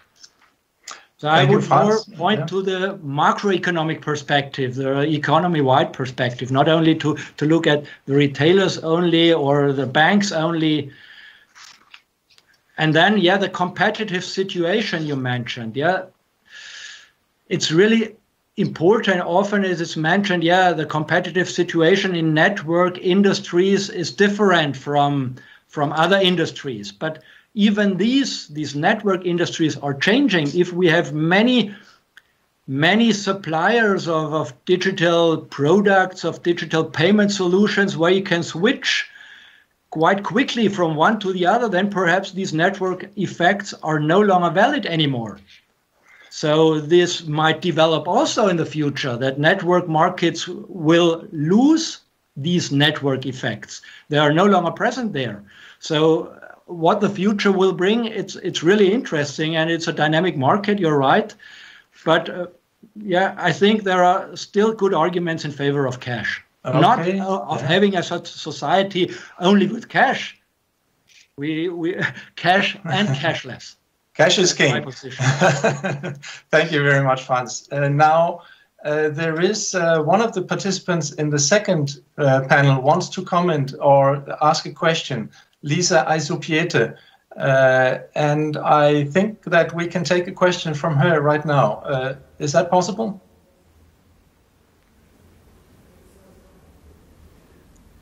All good? Okay. Uh, hello, my name is Lisa Eisbeter, and I'm indeed a participant from the next panel. Uh, I had a question um, to Jānis. You mentioned uh, the use of big data in the military. I wonder if you could expound on that specific subject for the audience uh, and everyone uh, connected online. Um, as to the practical implications, how exactly did that influence the behavior of the soldiers, and how would you transpose that behavior, perhaps um, speaking of monetary systems of the future? Thank you. Well, if I may, thank you. Uh, well, you know, there's been a lot of debate that um, with the uh, clever crunching of a data about human, you can understand who that human is what are his or her motivations and, and, and behavioral patterns, and by inducing um, kind of certain sets of uh, um, signals or, or, or uh, messages, you would be able to shift the human um, behavior. It has been discussed uh, within the context of 2016 US elections, uh, Cambridge Analytica and a number of other instances. So the core question we've had whether big data enabled AI system can really switch the behavior. So what we did, we, we looked at the uh, participants in the exercise uh, who were at the first point anonymous. We, we had to look open source data, no hacking, nothing. uh, crunch the data, what you can have on these humans. And like in a human life, the better you know people, the better you are able to mani manipulate. The spouses manipulate each other all the time. And that's based on their knowledge of how they are. So big data enables that and more. And based on that, you can basically decide what kind of signal do you want to give that you would get the most likely answer, uh, the, the, the response. And with the military, it was pretty straightforward. We went to, wanted to get them out of the positions they have to, to defend. So you, you, you give them a, a lure or something that they would not be uh, able to resist. And big data gives that all in a nutshell. And of course, how that translates, it translates in so many ways we humans operate. For instance, if you have a data of, of how humans or person buys things. Is it spontaneous? Is it carefully thought through? In which areas it is spontaneous and etc. What are the moments of a day, moments of a year? All of that goes together very well, and you can basically predict. This is the best time I induce my my signal, so that the human actually does what I expect him to do monetarily. And in that sense, in my view, this monetary thing is, is, is not that different. Of course, what we did was simplistic, moving away and, and based on some of the human characteristics. But when you look at the cognitive sciences, we as humans are very rarely rational. We, and I, should, I think all of this discussion also pointed to the fact, we act emotionally and instinctively. That's why these AI-based systems will be pretty effective because they will most likely be based on stoking our emotions and instincts and 85% of the time that will be just right. So that's the way I see it. It's, it's, it's one of the areas where it is being developed. Uh, it's not, I would say, fully functional, but, but, but clearly there are uh, players and actors that develop their capabilities in that direction. Jānis, uh, uh, it seems to me that with what you've just said, maybe central banks should consider hiring psychologists also, uh, which is, by, by, the way, something that I proposed a number of years ago already. Uh, but it seems to be more and more relevant. Uh, anyway, so I would like to uh, take a couple of questions from the audience. and the first one is this one uh, one of the listeners has asked, is it really a future for central banks to become more and more software companies and also to bring a huge competition force to the private fintech companies? Uh, it seems to me that this question has two elements. Uh, do we need another software player in the form of central banks? And is it fair for private companies to kind of uh, be faced with this kind of competition from central banks. Uh, I think this is something that maybe several of the uh, panelists would like to comment on. Maybe we should uh, start with uh, Franz Seitz. So I do not see the danger that uh, central banks only become a, fin- uh, a competitive uh, player in, in, in, the fintech market. Or, so uh, f- usually, what central banks do is they try not to innovate, but to guarantee safety, to be more conservative. But with respect to payments, they also have uh, become innovators with respect to CBDC. So uh, CBDC, uh, central bank digital currency, yeah, central bank digital currency, and you have to be very careful uh, to uh, think about this central bank digital currency, the, the advantages, the disadvantages, also against the background of declining cash usage, the pressure from the public in times of crisis when there is perhaps no longer access to cash. Uh, the Swedish central bank, for example, uh, told me that they would have problems in times of crisis uh, because cash does not work in normal times. And if it does not work in normal times, if the access is not guaranteed, if the acceptance is not guaranteed, then it does not work in crisis periods either. So then central banks have to step in to safeguard uh, the integrity of the payment system, to the smooth functioning of the payment system, and that's why they have to be a player in in some sort, uh, in, or in some sense, in a uh, quite normally. So uh, I think they have to to to be there uh, to guarantee the functioning of the payment system. Okay, um, I got your point. Uh, I think, Harijs, uh, would you like to comment on the idea that central banks are in competition with uh, private companies like fintech companies? Thank you. Uh, central banks are some, some sort of software companies as banks. Uh, in nowadays, it's inevitable. Uh, nevertheless, we try to be, let's say, to separate and uh, we are involved and we, we, we, are building the backbone of payment systems uh, and like instant payments. In fact, uh, you said central banks are rather conservative. Uh, yes and no. Uh, in, in time, in past, in the past, we were the only one who were ready to build in our region the very cost-effective instant payment solution. And, and from, from, from another part, we are not building end user apps, we are not building solutions uh, to use at point of interaction and e-commerce. For that part, we, we, are, we are inviting fintech companies, banks, any other uh, uh, entrepreneurs uh, to provide their solutions, and we will provide consultancy, even ideas, uh, test beds, and so on. Thank you. Thank you very much, uh. Uh, maybe I will uh, take another one from the uh, public. Uh, this question is, how will the non-cash world guarantee my individual human rights to have 100% access to my financial resources? In Latvia, there are no free from fees banks anymore.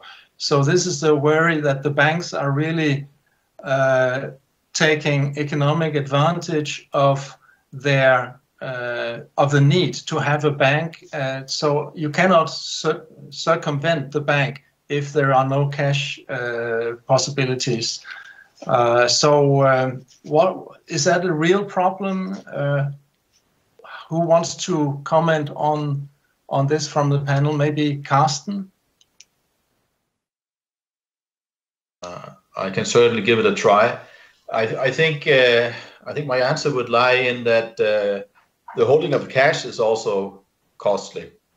Uh, although in, in these times of negative interest rates, of course, uh, zero is better than negative. But but I think if you look at it historically, uh, cash is a non-interest-bearing asset, so that also comes at a cost. So I think you have to balance that, uh, plus the fact that if you were taking the thought experiment that you take out all your fortune in cash, you would run all sorts of risk of uh, theft and how where do you store it and God knows what. So uh, I think, uh, although I, I see the point that that uh, you have to have a bank account and uh, you the bank is likely to charge you one way or another for that, but it's not it's not that cash is uh, without cost either. Okay, uh, thank you very much. Maybe uh, to add another aspect of cash, uh, the cash uh, question, uh, namely the legal aspect, because we have a concept called legal tender, which means that you have to, uh, as a shopkeeper or someone else, certainly as a public authority, you have to accept cash as a payment. But this is also coming under pressure. I have heard about a case that is impending before the European Court of Justice, where um, they are going to rule on the acceptance of banknotes as legal, legal, legal tender for the payment of dues to a public broadcaster. The public broadcaster refused to uh, take cash as a payment, and this is not in line, apparently, with the concept of a legal tender. Uh, do we need a different kind of legislation to prepare for the cashless society? Uh, who wants to comment on that? I don't know if Deniss is still uh, around to uh, to look at this issue.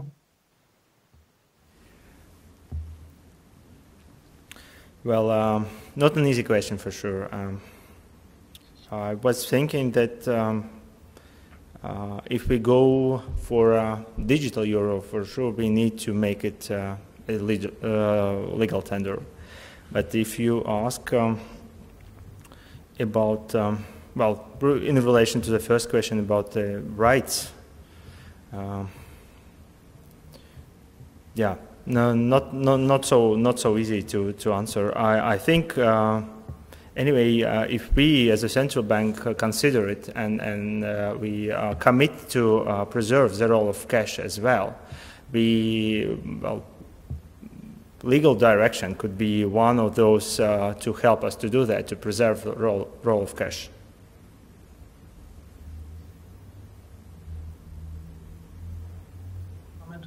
May I add something? Uh, the, the, question with legal tender, in, in, in my view, is that there is not a precise definition of legal tender. And within the EU, we have the different countries which have different definitions of legal tender.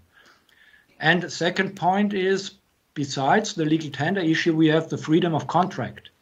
In Germany, everybody can refuse to accept uh, banknotes, which is the legal tender, if it is clearly stated, uh, for example, at gas stations, that they do not accept 500 euro bills or 200 euro bills, that's no problem. But, you, but for the customer, it has to be clear before he enters the shop, before he uh, takes the fuel that uh, it's not accepted. But then you can refuse to you refuse any payment or any banknote. That's no problem. So there is no need for updating the legislation to, to prepare for the uh, the new uh, ways of paying Yeah, that's the question. If we have these different legal tender and we have these court issues you mentioned, uh, this journalist who from from Handelsblatt uh, has uh, went through all the courts in Germany and now it's uh, at the European Court of Justice. So, but even if the European Court of Justice rules, it the, that's uh, the question then is what does that mean for the individual countries if they have different definitions? So it, it's not an easy task. No, it's it's definitely not an easy task, but uh, lots of conflicts in here. Um, so maybe we can turn to another aspect that was touched upon by several of you, uh, namely, I think Karsten called it geopolitics uh, and the dominance of, let's say, U.S. companies in the payments industry uh, so far. There is there are of course the card companies, but also Apple and and Google what I've actually heard is that uh, there is a new online or there's a new payment mobile payments initiative coming from Samsung, which is obviously a, a South Korean company. So uh, is this danger of being reliant on solutions from elsewhere? Is it real? Uh, is it something that we should uh, take action on? I think this is maybe where we also could uh, benefit from uh, from Jānis's uh, perspective. Uh, Yanis, what would you say? Are we in danger of losing our edge, uh, losing our uh, influence on how these things are, are being done?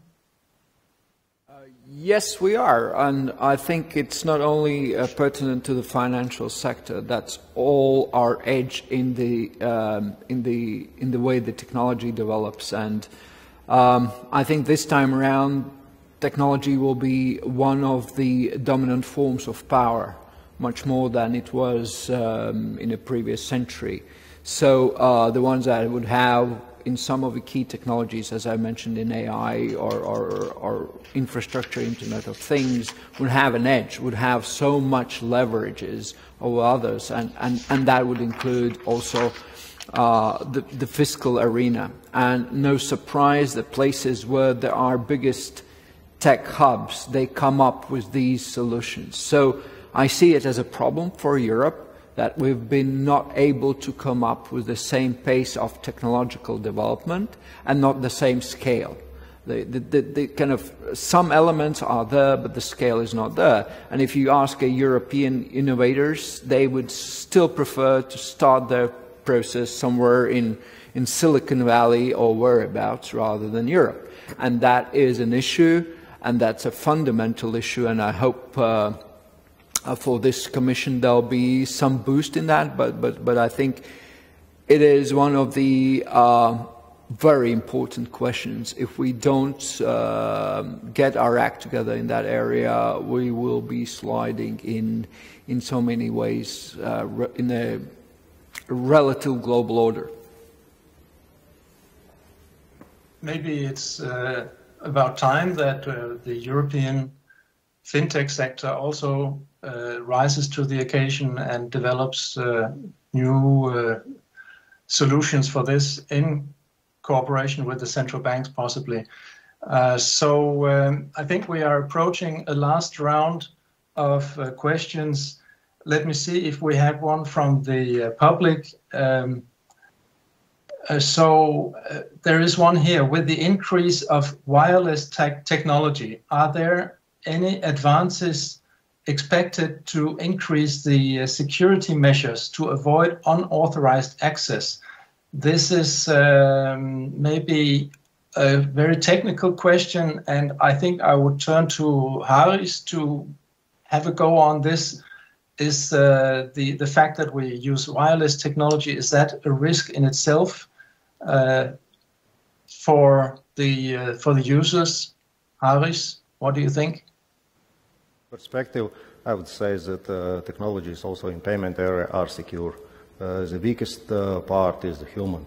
And of, nevertheless, we can still work further also to improve these uh, technologies and security measures, uh, but nevertheless, we still can sp safely uh, speak that technologies uh, banks and central banks provide in payment area are secure.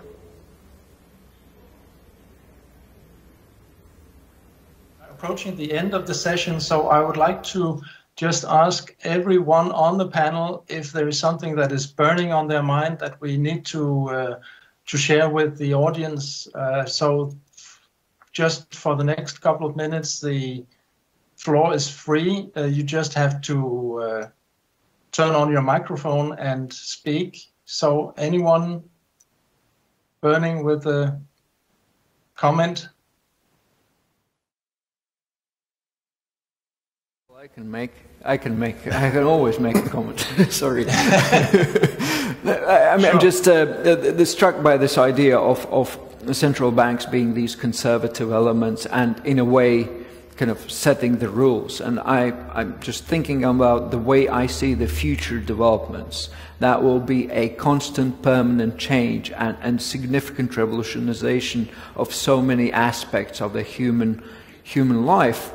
How much that image or process being the conservative ones will, will, will hold. I agree that central banks don't have to become the software companies, but they have to feel uh, with all of that world like fish in a water. So a ability to adapt is going to be one of the key features to stay on top of a problem because I've seen in some other areas just like, you know, you go for a good night's sleep and don't do nothing, and then you wake next morning and you're late already to the problems, and they face you in, a, in the most uh, difficult ways. So I think the key will be ability to adapt. Okay, thank you very much. Um, I think we have done uh, more or less a 360 degrees uh, survey of these questions. Uh, so I want to thank the uh, the panel very much for their participation. Under somewhat difficult circumstances, I think we managed to have uh, a lot of different uh, aspects covered. First of all, the the future of cash, but also the let's say, the security issues involved in the further development of cashless payments. So uh, maybe again to share what the uh, audience thinks. In fact, as we have been discussing, the majority that is positive towards these developments has increased. I think it's now it's now 82% of all those who have uh, given their vote on this who express an expectation to benefit from the future developments. So that's a very optimistic message that I think is a, an appropriate way to end this panel. So once again, thanks to all the panelists. And may I remind all those of you who are looking at this conference that we will now make a short break.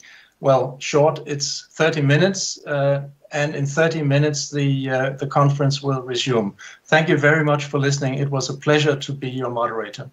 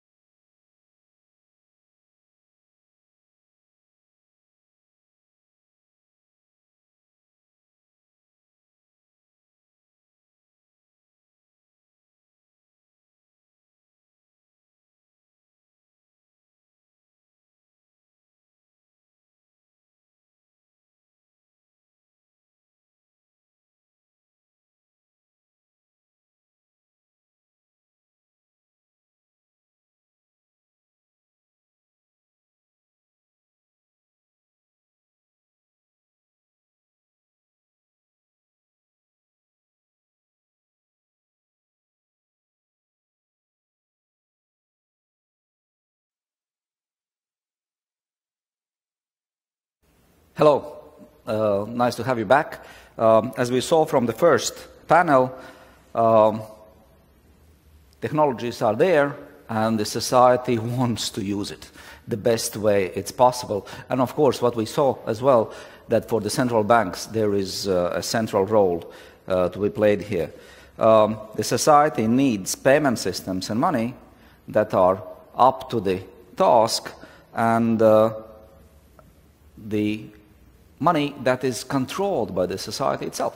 Okay, uh, so let us move to the second uh, second uh, discussion uh, panel today, and we are moving from innovations uh, in the field of payments uh, in general to the digital money. It is very topical um, among the central banks as well, and there are discussions going on about this topic also within the ECB. Um, and when, before we kick off, uh, let me introduce uh, with the panelists of the second session.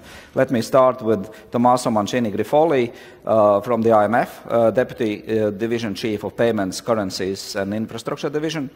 Um, Ulrich uh, Bindseil from the ECB, Director General of Market Infrastructure and Payments. Fantastic presentations this week and last week within ECB on these same issues. So um, very interesting points of view. So let's let's touch upon those as well. Marius Jurgilas, uh, member of the board of Lietuvos Bankas. Marius, uh, congratulations with the uh, issuance of uh, the um, first, globally first, uh, digital collector coin. Okay, well done. And uh, you are the major force behind this, so congratulations. Uh, very much appreciated. And uh, uh, last but not least, Lisa Aizpiet um, from the private sector, to the left from me. Uh, so what the institutional uh, players are doing and how does the private sector look at this? Are we getting something wrong or we are uh, going along the same path? So um, let us proceed as follows. We have in total hour and a half.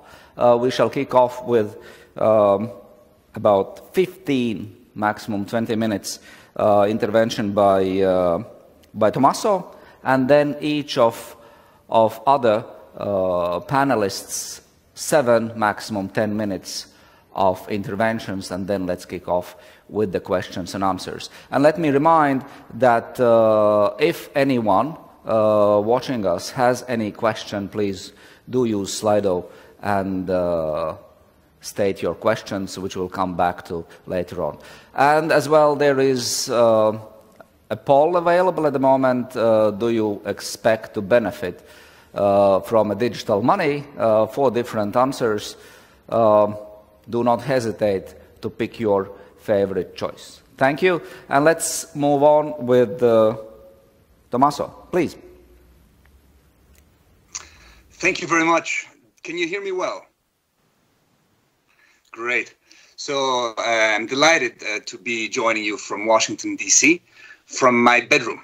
Uh, it's uh, I, I, did change. It's early in the morning, but I'm very very happy to be here with you. Uh, this talk I uh, titled a voyage, albeit digital. Uh, why a voyage? Uh, because, to tell you the truth, I'm tired of lockdowns. Uh, and because just seeing the pictures of Riga with its beautiful medieval center, its castles and churches, uh, was a breath of fresh air for me. But also a voyage because we're going to venture into the world of digital money and CBDC and cover quite a bit of territory. Uh, this will be one of those cheap rather hurried bus trips through Europe, uh, though we'll certainly stop to highlight some of the landmarks before getting whisked away again by the bus driver. Um, why digital? Well, that's pretty obvious uh, because I'm here and you're there, and because after all, uh, this is a talk about digital money.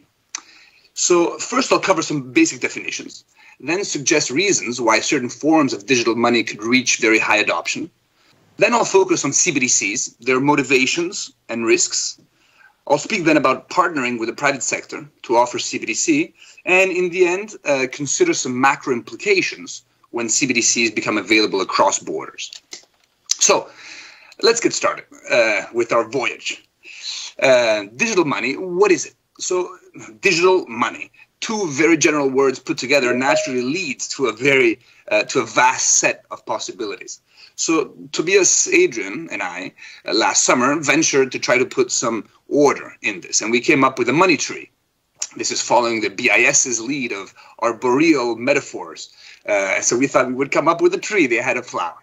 Theirs is probably more beautiful. Uh, and in this tree, we distinguish three main nodes that define the branches that stem from the tree. The first is denomination. The second is redemption rate into cash or currency, uh, and the degree of backstop behind that redemption.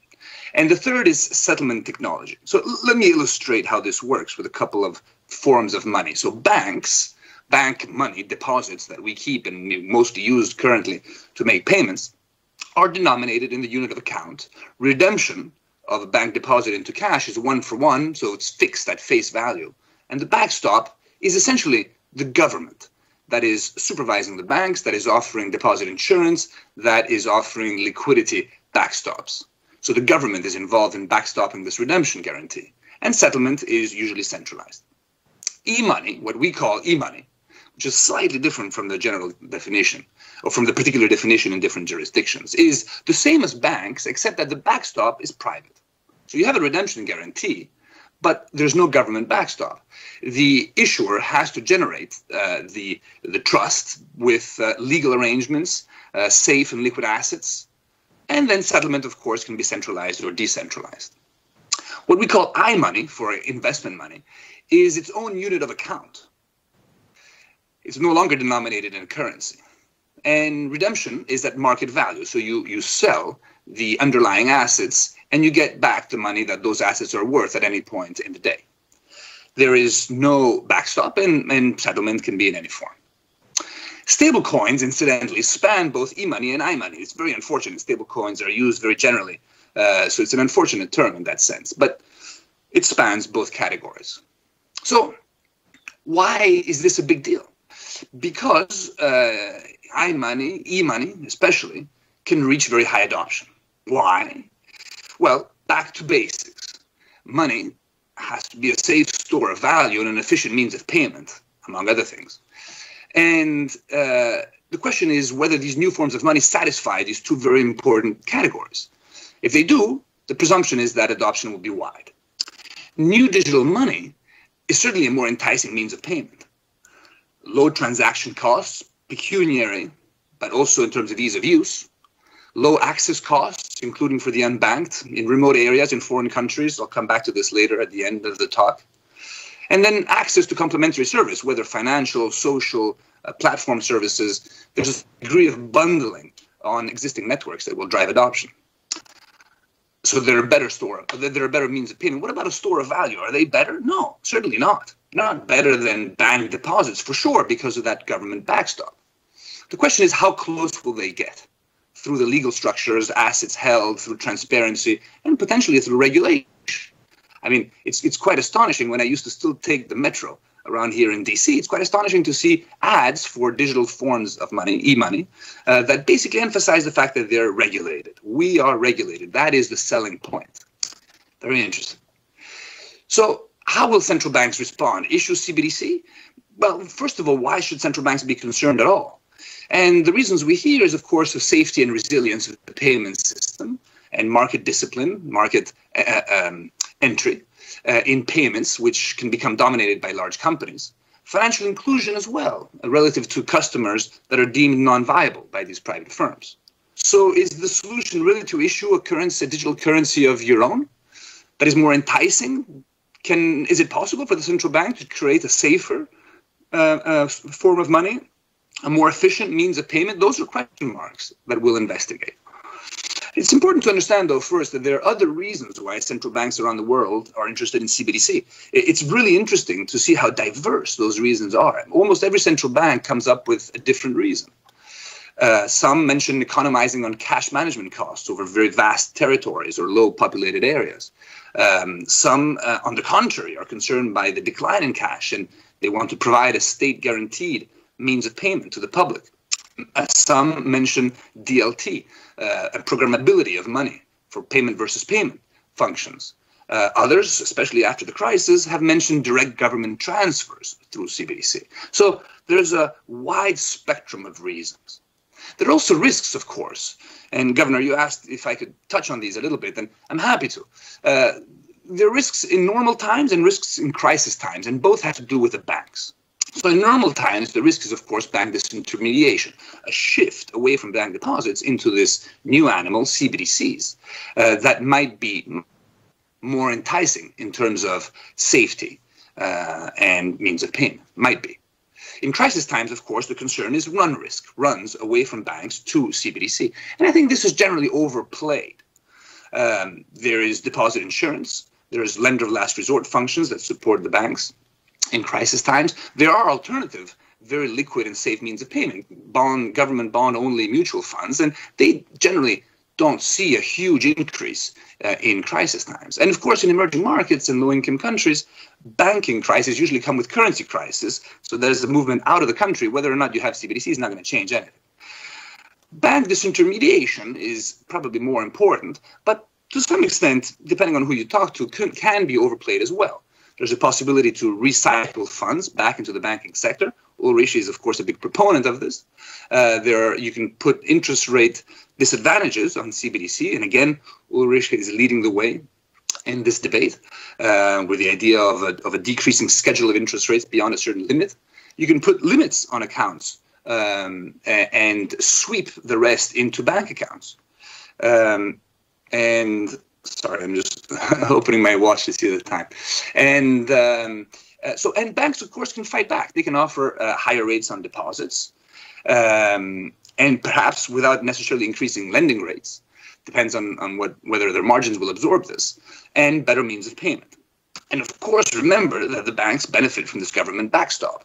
So banks will be around probably to some extent, although we have to take disintermediation risks very seriously because of the importance of banks in the credit provision and monetary policy transmission. So, how might CBDCs look like? So, back to the old question, right? In a sense, is CBDC safe as a store of value and enticing as a means of payment? Can it be made so? Um, what does CBDC involve? It's, it's a payment instrument after all. So let's think of the payment chain from customer interaction, customer due diligence, wallet design, distribution of to coin issuance and settlement to supervision. Three big chunks.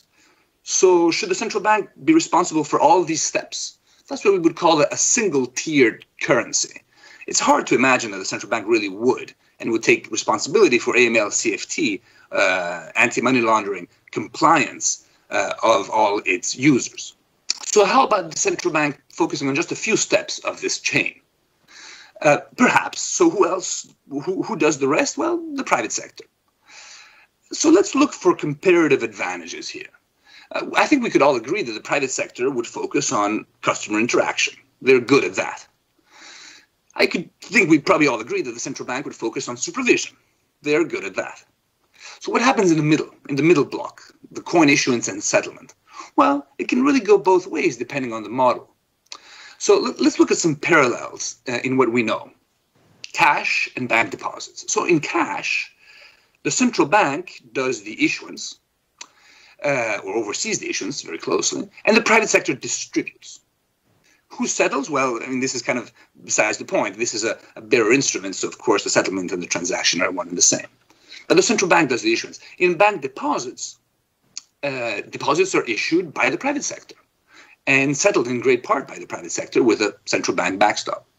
So in the first case, the central bank takes that middle block of uh, coin issuance. In the second case, the private sector takes it.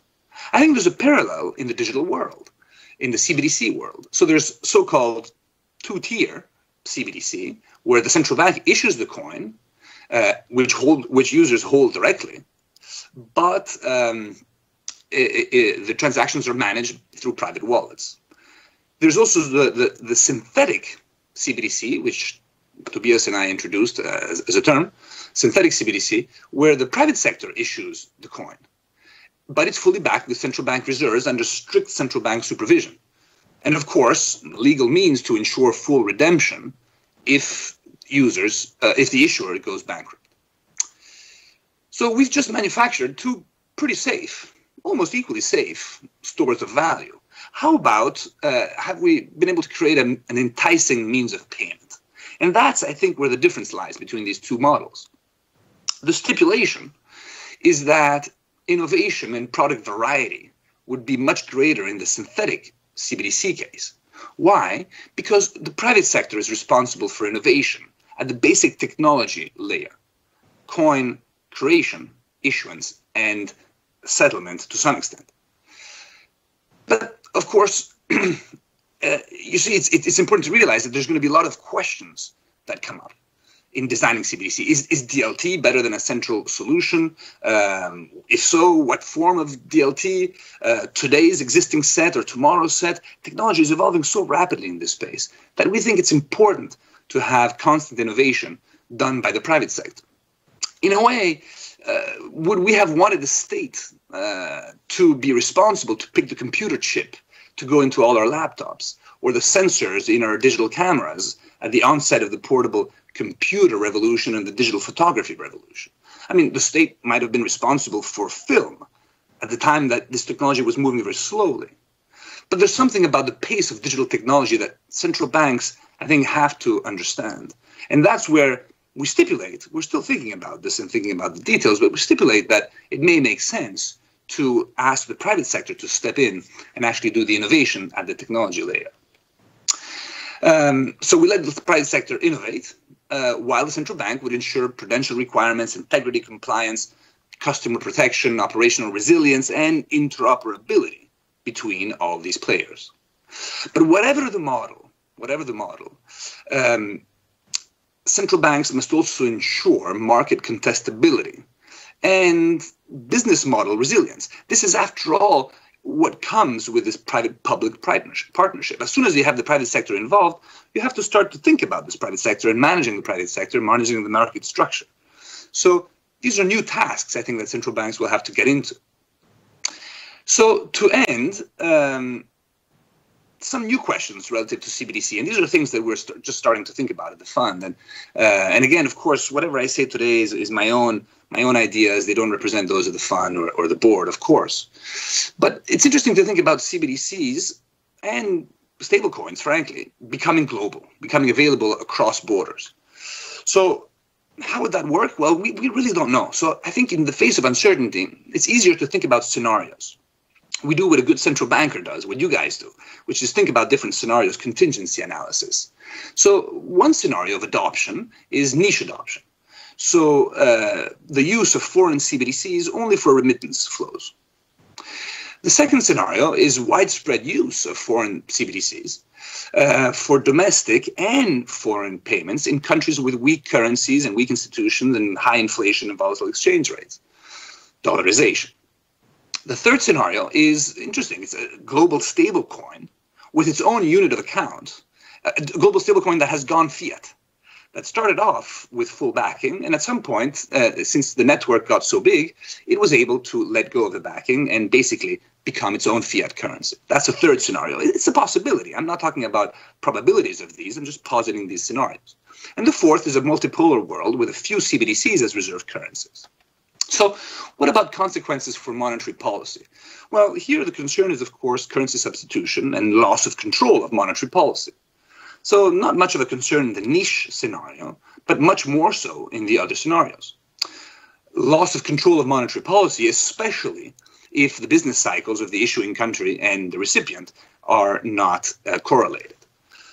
Now, of course, this whole concern takes on a different meaning, goes to a higher level uh, when you think about the third scenario, which is a private global stablecoin with its own unit of account. So when we talk about correlation of business cycles, what business cycle?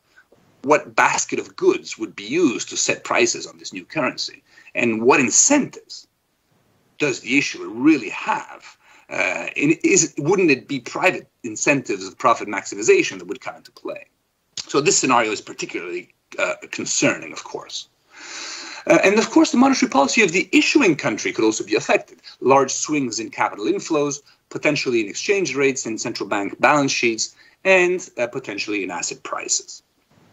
What about consequences for financial stability of these scenarios? Well, I mean, the first that comes to mind is run risk. You remember earlier we, we said, well, if you issue your domestic CBDC and, and you're an emerging market with a um, a crisis, a currency crisis, well, whether you have CBDC or not is not going to change things. You're running outside of your country. But of course, if the foreign country has CBDC and you can run to that and you can hold that more easily, you could see uh, uh, runs to foreign uh, from from currencies much more easily, and this is a concern. Currency substitution, to some extent, in the banking system, uh, can potentially lead to, to mismatches on balance sheets, and that would be a concern. And of course, there are special risks, once again, with that third scenario of a global stablecoin.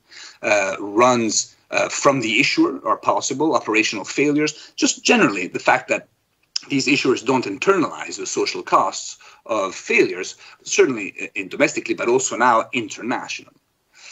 So, uh, but of course, you know, we should also think about the potential for these innovations to lower cross-border financial frictions and thus help deepen and integrate international capital markets, which would be an advantage. Lastly, what about the consequences for capital account management?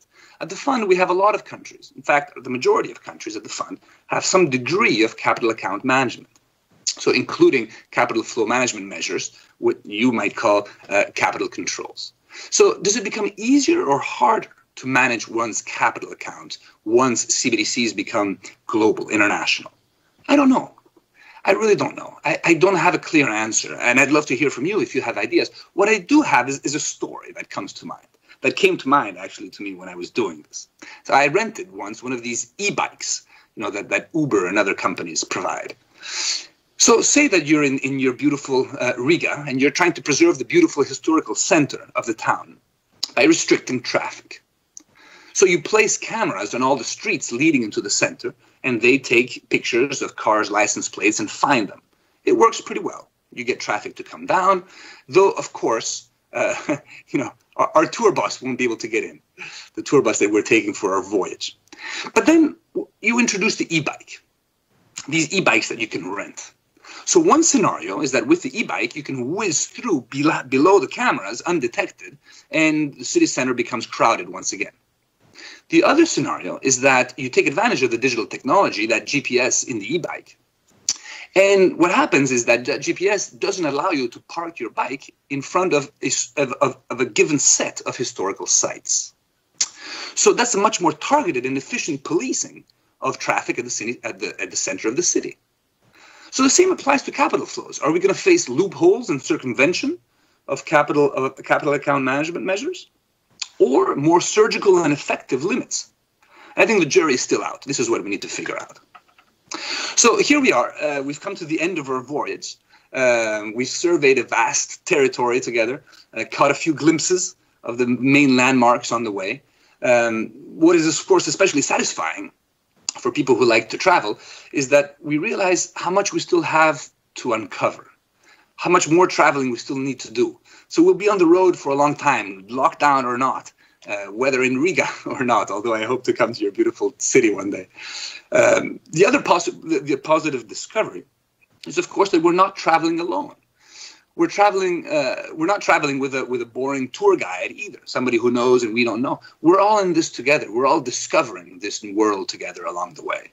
So it's a most pleasant pleasant voyage. Thank you very much for the opportunity to join you. Thank you, Tommaso. Um, thank you for painting the picture, so defining the key elements, uh, showing what are the key linkages, what we need to think about, uh, raising the issue of stable coins and big techs.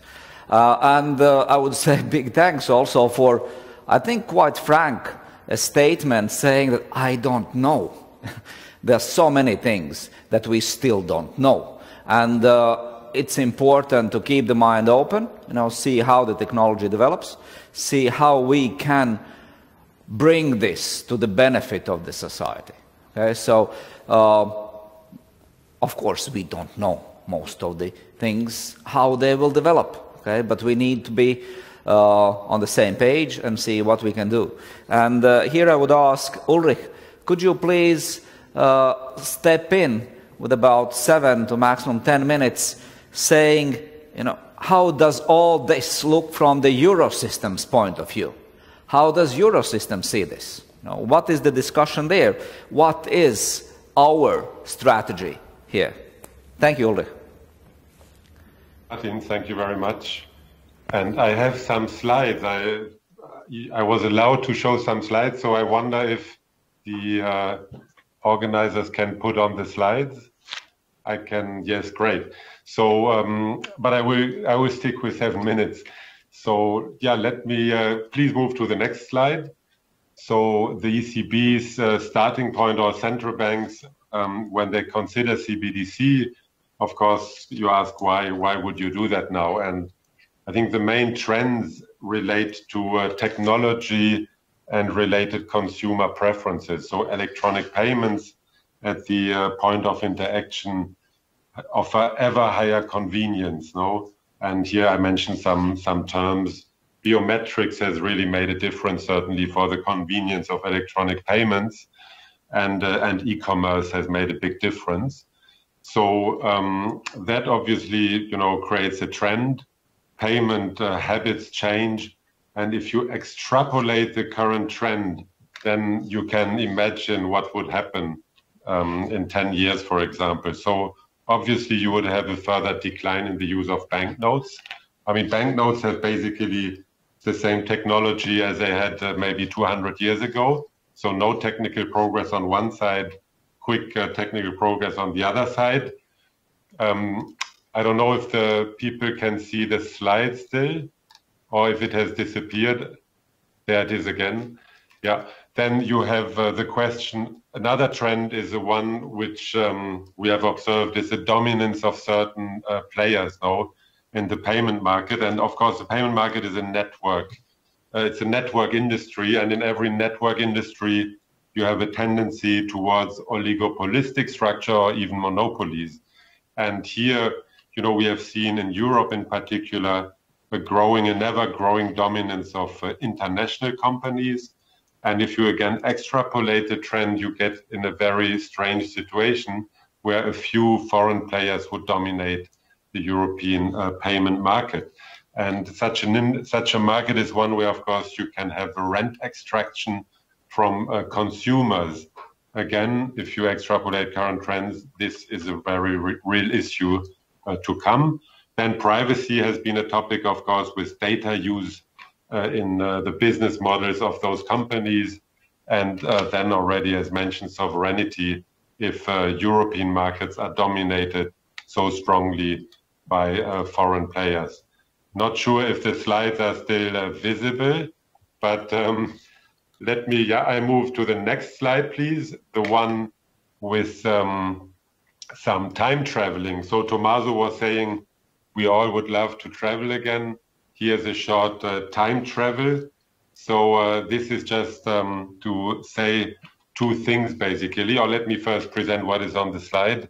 So um, yeah, public public banks issuance of means of payment or call it central banking, has really started with uh, uh, municipal banks uh, in the Mediterranean in the early 15th century.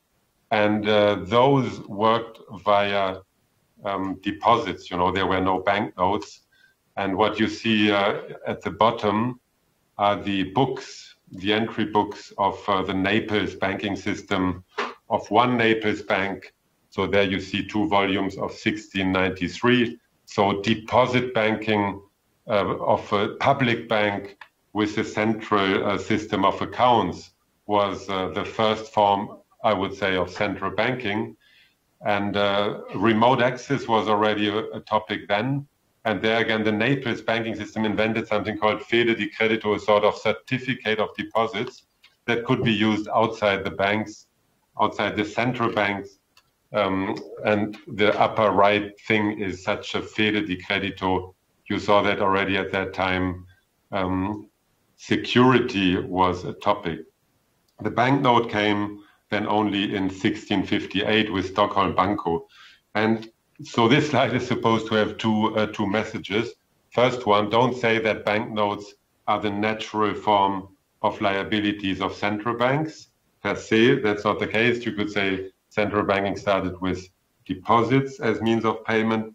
And second, uh, financial stability is indeed an issue if you if it comes to major central bank innovations.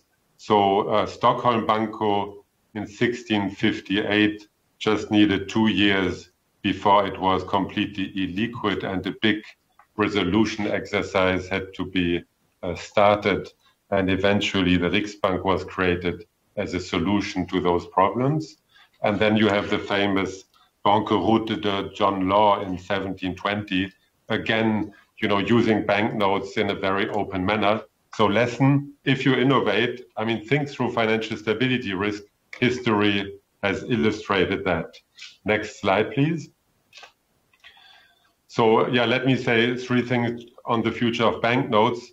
So central banks around the world have been consistent and have stated that they will continue issuing banknotes as long as there's any demand for it.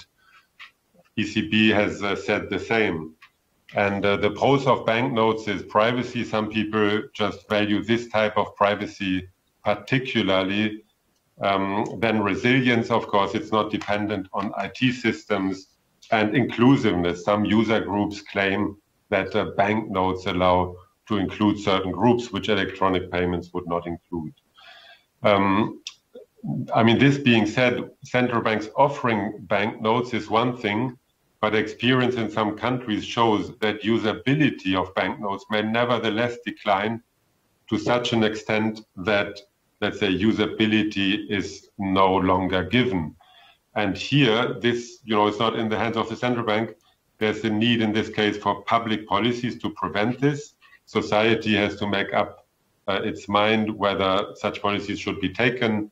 They, they are costly in a certain sense, but it's a decision of society. Central banks will certainly not uh, be against that. Next slide. Then on the coexistence of digital money, private and public. So ECB statutes say promote smooth operation of payment system, but also favor an efficient allocation of resources in an open market economy with free competition. And the ECB has taken the second point up also in its retail payment strategy of November 2019, where it encouraged European the European industry to come up with a private retail payment solution which would have pan-European reach, allowing for economies of scale. It should rely on instant payments because instant payments as a new technology offer unprecedented efficiency and it should offer a comprehensive solution at the point of interaction. And on 2nd of July 2020, EPI came up, the European Payment Initiative of uh, initially 20 banks, at the end 15 banks, and announced uh, a scheme that ticked all the boxes of the ECB's uh, retail payment strategy. And the ECB came out with a press release endorsing it, showing it that the ECB, in any case, regardless on decisions on CBDC that may be taken in the future, is very keen on having the private sector on board.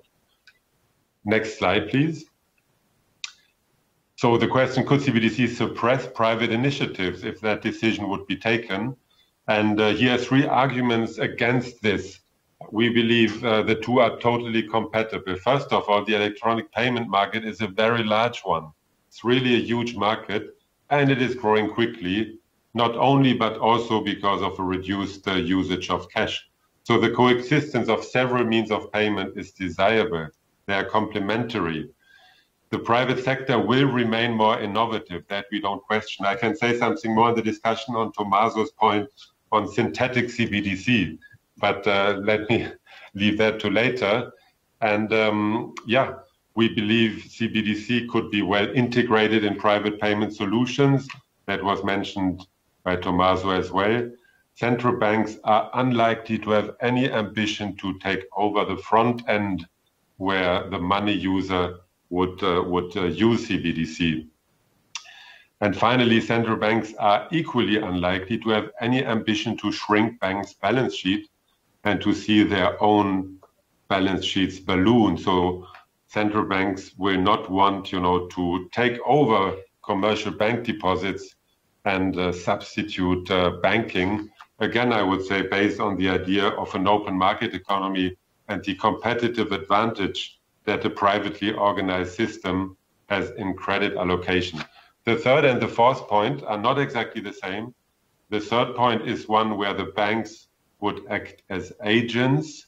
The banks or third party providers would act as agents of the central bank in providing the front end. The last point is on the balance sheet, not substituting the bank uh, balance uh, sheet. Okay, then um, thank you very much. That would be all from uh, my side for the moment. Thank you, Ulrich. Um, lots of very interesting things. Pointing out the network industry aspect, of course, is very important as well, given that uh, European market is quite fragmented uh, it has some implications, of course, on the way we go forward. And all those kind of three initiatives that you uh, mentioned, uh, ECB retail payment strategy, EPI, private sector story, uh, and I would say the major conclusion uh, from the ECB's perspective was that we see the private sector with the uh, public sector in this case as complementary. Okay? They are not substitutes. They are complements playing the strongest part of each segment. Okay? Because then putting all this together uh, hopefully leads to a stronger solution. So, of course, uh, you know, the architecture is important thing here. Marius, what is your take on this? How do you see this being integrated? How do you see this story going forward? So first of all, Governor, thank you for having me on on this uh, very interesting discussion, uh, and uh, congratulations on uh, you know really hitting the nail with uh, I think uh, the importance of the subject, as you yourself pointed out. You know, you yourself had you know two very important presentations just very recently on that on particular this subject, and I think I will uh, bring in uh, additional points which are already to the ones that have been already mentioned uh, on the subject, and uh, we don't have to miss uh, the sustainability aspect, as you know, the European Commission has put on its agenda not only digital, not only social, but also sustainability, right? And I guess uh, we are already delivering on that uh, with uh, reducing on the commute time and uh, you know flying back and forth uh, from Washington to Riga. Yes, um, I think I, am I'm really enjoying that. Uh, yes, it's a strange time, but um, it's I think a um, very productive one. And on the subject on CBDCs, um, I think central banks first of all need to be transparent to themselves, not to the public. Uh, I'm not saying that they are not transparent, uh, but to really acknowledge the fact why uh, the, we are talking about CBDCs. You know, what is the problem that we are trying to, to solve? Because uh, you know we can openly remind ourselves we did not see any issues uh, just uh, one or two years ago, but right now it's the hottest subject on central bank community. And then we have to think what particular implementation or solution, or maybe no solution, is solving that issue. And uh, I, I, will leave that to the discussion that we will have later. You know, what is the main problem? Uh, but it seems that uh, regardless of a particular uh, use case, uh, uh, as you know, technicians are calling those issues, to be solved, to my taste, it seems that the most likely outcome will be that it will be intermediated model, which means that the central bank will not be facing the end user um, itself, although there is uh, no technical issue to do that. It's about the other things that uh, Tommaso also brought up. You know, are we the best equipped to manage all the other aspects of uh, transaction business, which is uh, not only you know moving money around and implementing monetary policy, but you know thinking about the other aspects of uh, of AML and all the other things, which maybe the private sector has uh, better uh, equipment uh, and knowledge to do. But that still also needs to be proven because the private sector is also sometimes uh, complaining that you know we don't see the the whole picture, the whole picture of a very complicated, uh, interconnected uh, financial transaction and you, the regulators, the central banks, maybe you can. Yes. Uh, second or the third point uh, is uh, on the technological type of uh, how we're going to be implement that. How will we implement that if we choose to do that? And of course, uh, you know, immediately people are saying, "Aha, probably it will be you know distributed ledger technology." Not sure. It, it, it still remains to be seen, and I can say that based on our own experience with the digital numismatic coin that you, you brought up without going into the detail, we immediately saw that there are issues uh, of legacy systems which have to be there, which are very complicated to be interoperable with uh, this distributed way of uh, managing tokens. And I'm, I'm, sure Lisa will disagree with me. We had some interactions before, but again, we can discuss uh, on the panel on that. The most important thing in this discussion on CBDC, I think that um, and Ulrich also mentioned this, is uh, to ensure the private sector that we are not stepping in for them to step out. I have to be very careful here. You know, am I saying that uh, you know private sector may uh, supply uh, you know the kind of the ultimate uh, settlement asset? No, I'm just saying that once we start talking about uh, maybe potentially introducing digital central bank currency or some kind of infrastructure which is exactly that, we should ensure that uh, all potential business models that can be can benefit from that uh, are not pushed away. And here it is very important to ensure that whatever the future world we will look into in Europe, uh, those business models um, they have to be um, able to exist. And here, to be more concrete, uh, I have to say, you know, like we we thought we will regulate uh, the, the payments market uh, by introducing very harsh regulatory restrictions, for example, on interchange fee. And uh, sometimes we have to step back because, uh, you know, the private market is reacting and saying, look, then I see no point. Uh, there are countries in Europe where, besides very, you know, uh, big push from the public sector, we don't have direct debit. One country right here. Uh, because the private market participants said, you know, we have no business case. So we have to ensure that well, once they start, you know, changing the core architecture of uh, of finance, which is you know central bank digital currency or this uh, infrastructure, we start changing or not changing the access rules to the central bank systems, we must make sure that private sector sees the benefit as well. But that has to be done in such a way that not only one part of a financial system, some kind of, you know, higher class has a benefit. You know, we, the system, the central bank, the participants, we exist as long and as much as is needed for the society. So we have to ensure that you know we are solving those particular issues, not only for the you know digitally inclined part of population, but for the whole society.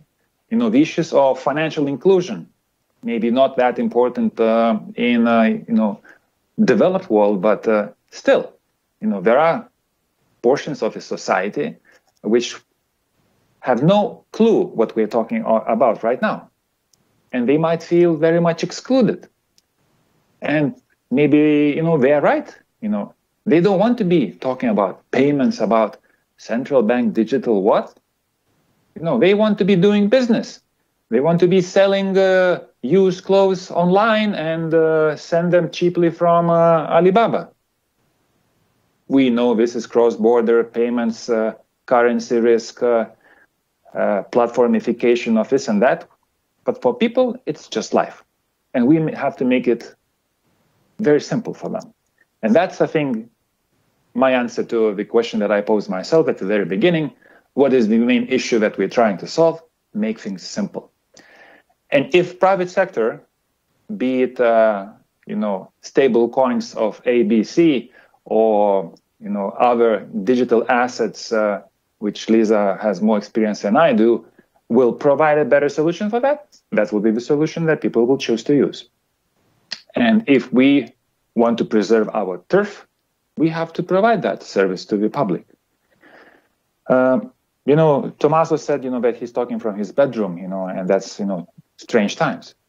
But remember, we already started sharing our bedrooms with strangers. It has a name, right? You know it.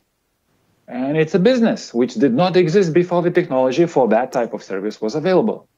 So maybe in finance, we'll be also be doing strange things, which we never thought about before. I'll stop here. Uh, thank you very much. That was very refreshing. So, um, the private sector, you know, are we discussing about the issues that are helping you? Are we trying to build new walls that is going to have negative impact on the well-being, on business of the society? How do you see this? Well, first of all, let me define the private sector that I personally represent. So my name is Lisa Aizapete, and I represent Fintelum, a company, two-year-old company, which is carving the way in this new space of cryptocurrencies and uh, blockchain, and more specifically in tokenized assets. Now, we purport a fundraising being possible both for something called utility tokens and something called security tokens, or simply put, securities in the legal terms, using cryptocurrencies and fiat, so a combination of both. We purport that this should be possible, and in fact, today we're announcing our first, uh, first project.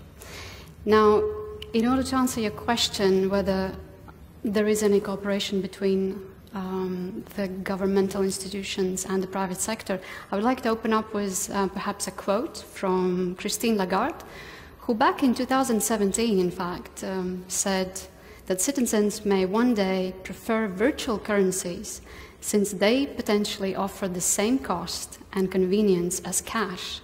No settlement risks, no clearing delays, no central registration, no intermediated uh, check of accounts and identities. So this is to say, and this is coming back to Marius, what you just said, is what is the purpose of governmental agencies and central banks, and more specifically, is to serve the people. Nothing more, nothing less.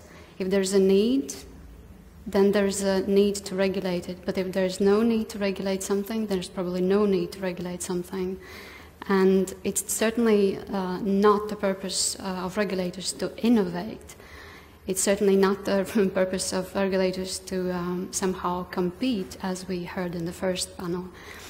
It is more uh, to serve the purpose of people who we are basically uh, representing, or you are representing as central bankers.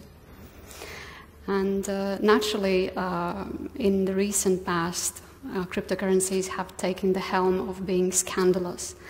But let's go back to something um, Ulrich actually uh, mentioned a little bit of a historical reference. How long did it, like overall, let's sum up, how long did it take for paper money to come about?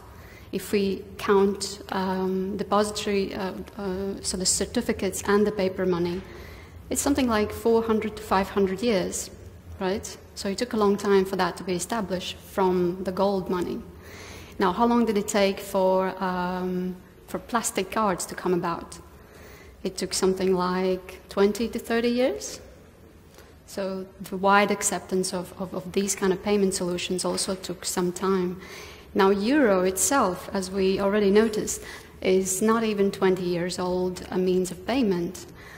But then again, let's remember, euro was uh, fiat by decree, meaning that euro was basically imposed on, on societies, on, on our uh, European uh, economic zone. Now, what about cryptocurrencies? Well, they're about 10 years old only, and still they have uh, gained traction without a decree, without a central uh, governance, without anyone, uh, anyone's permission, so to speak, and in fact, existing in a decentralized way. So, to answer your question, uh, Mārtiņš, is absolutely. In fact, cooperation is inevitable. Mm-hmm. Uh, I would rather say there is coexistence mm. rather than cooperation because it, it takes time for both the general population as well as for regulators to understand, to grasp the idea, what we're dealing with here. And uh, if anyone in the audience doesn't know what, what uh, stablecoins are or what DLT is, um, don't feel that you're, you're, you're left behind. This is still very early for everyone, and there's still time for you to learn.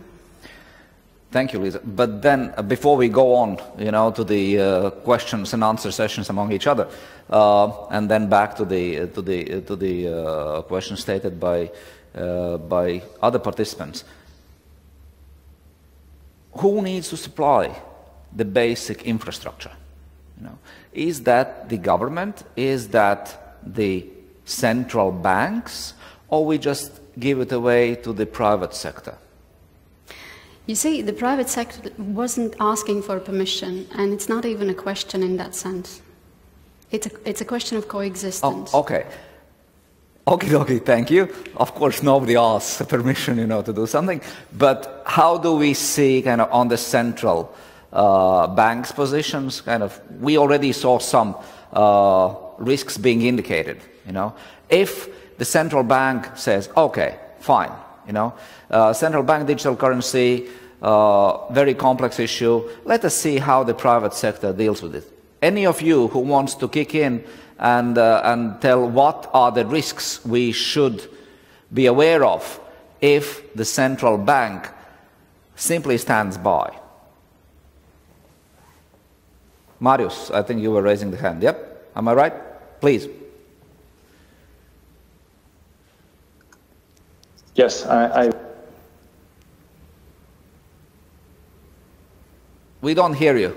Uh, can we please? Yeah, someone, unmute? someone yes. was uh, yeah. muting me. Yeah. I was muting, muting. Uh, yes. Okay, please go on. Can you hear me now? Yep. Yes. So uh, to be precise, uh, no one knows the answer. But uh, maybe we can uh, take some evidence uh, from uh, real examples uh, in uh, other industries, or you know, see how technology, which allows users to get rid of a middleman, who is a middleman in the finances in financial institution, or you know, start using a platform which was not used before. What's a platform? You know, some kind of a settlement system or you know distributed ledger ether uh, on which you are moving tokens what he has done with industries good examples uh, jump to my mind uber get around uh, amazon airbnb right? What they all have in common that the things that started with uh, do no evil type of proposition all of a sudden we are labeling as giants, tech, something which are maybe posing the threat to the society, not from a financial stability perspective, not from, uh, you know, maybe mismanaging uh, consumers, uh, you know, kind of uh, quality of services, but uh, from just abusing uh, the consumer surplus from the good old kind of anti-monopolistic behavior perspective. And maybe that is a subject not for our type of institutions to engage in, but that's the biggest fear that I would have. Thank you, Marius. This is what Ulrich mentioned in terms of monopoly rents. I saw, Ulrich, you wanted to add something as well. Yep, am I right? Uh, yes, thank you, Martin. So um, indeed, you know, contestability of market, complete absence of a public uh, supply of means of payment would, uh, you know, in the view of the importance of, of paying in society, would leave uh, the citizen exposed to, um, to at the end few players because of the network properties of this industry, no? And that creates really the space for extraction of rents.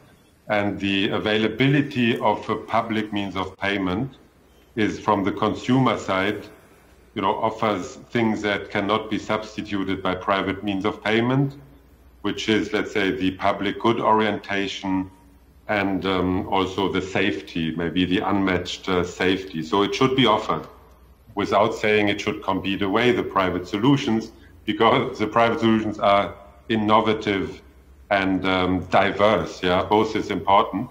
I mean, if you um, to mention to Lisa, I mean the unregulated nature of crypto assets. I think uh, central banks at least looked, of course, at, at cryptocurrencies like uh, Bitcoin and came to the conclusion that those are no means of payment really in the sense uh, of um, other means of payment which uh, are overseen or regulated. Um, of course, you know, in, in regulation, you can always you can make two mistakes as everywhere. No mistakes of type one. You regulate something or you over-regulate it. You make it less flexible. You should not have regulated it to that extent because you suppress uh, innovation and competition and you create costs to the industry. That's a mistake type one. Mistake uh, type two is you don't regulate and at the end something ugly happens and everybody shouts, uh, why was that not regulated? Compensate me for my losses and so on and so on. So, you know, every regulator is always, you know, trying to minimize somehow the sum or the weighted sum of those two mistakes as you do in, in life on everything. And uh, that's, um, and the regulator will not, never be perfect. So it's an evolutionary process. And uh, the attitude, let's say, of the um, of the public sector, of the regulators towards uh, crypto assets in the narrow sense has been as mentioned. So saying this is, you know, not of a systemic relevance from the payment perspective, so let it be.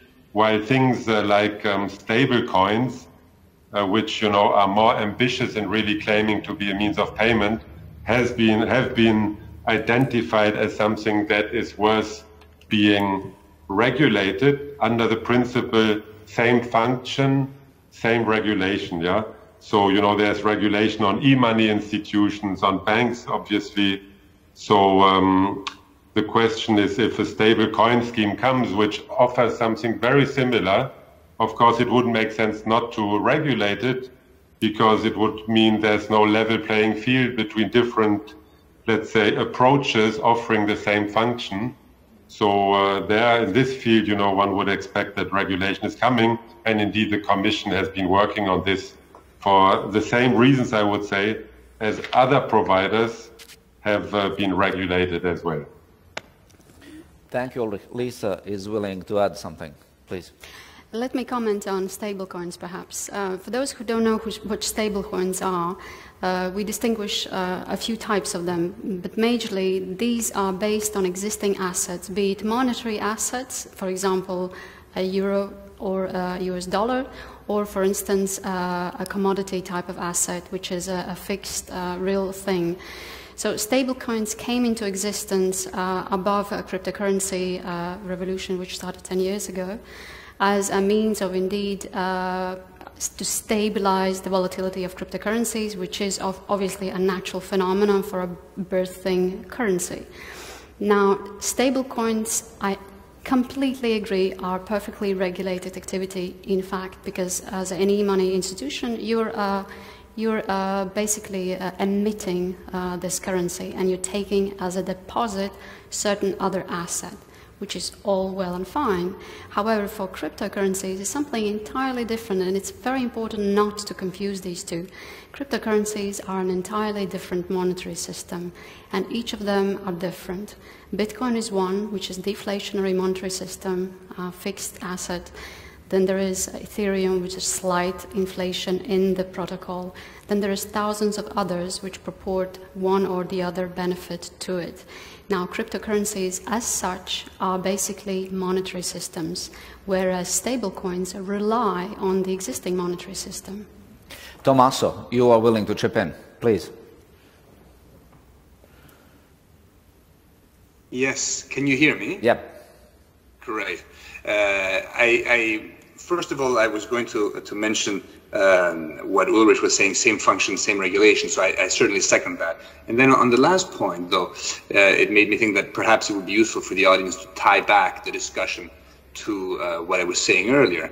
So it's important to understand that that e-money schemes that are denominated in the domestic currency and have a guaranteed redemption at a fixed face value, of course, have an inherent risk It's like a constant net asset value fund, for instance, uh, where there's a risk in, in the ability of the issuer to honor the redemption guarantee.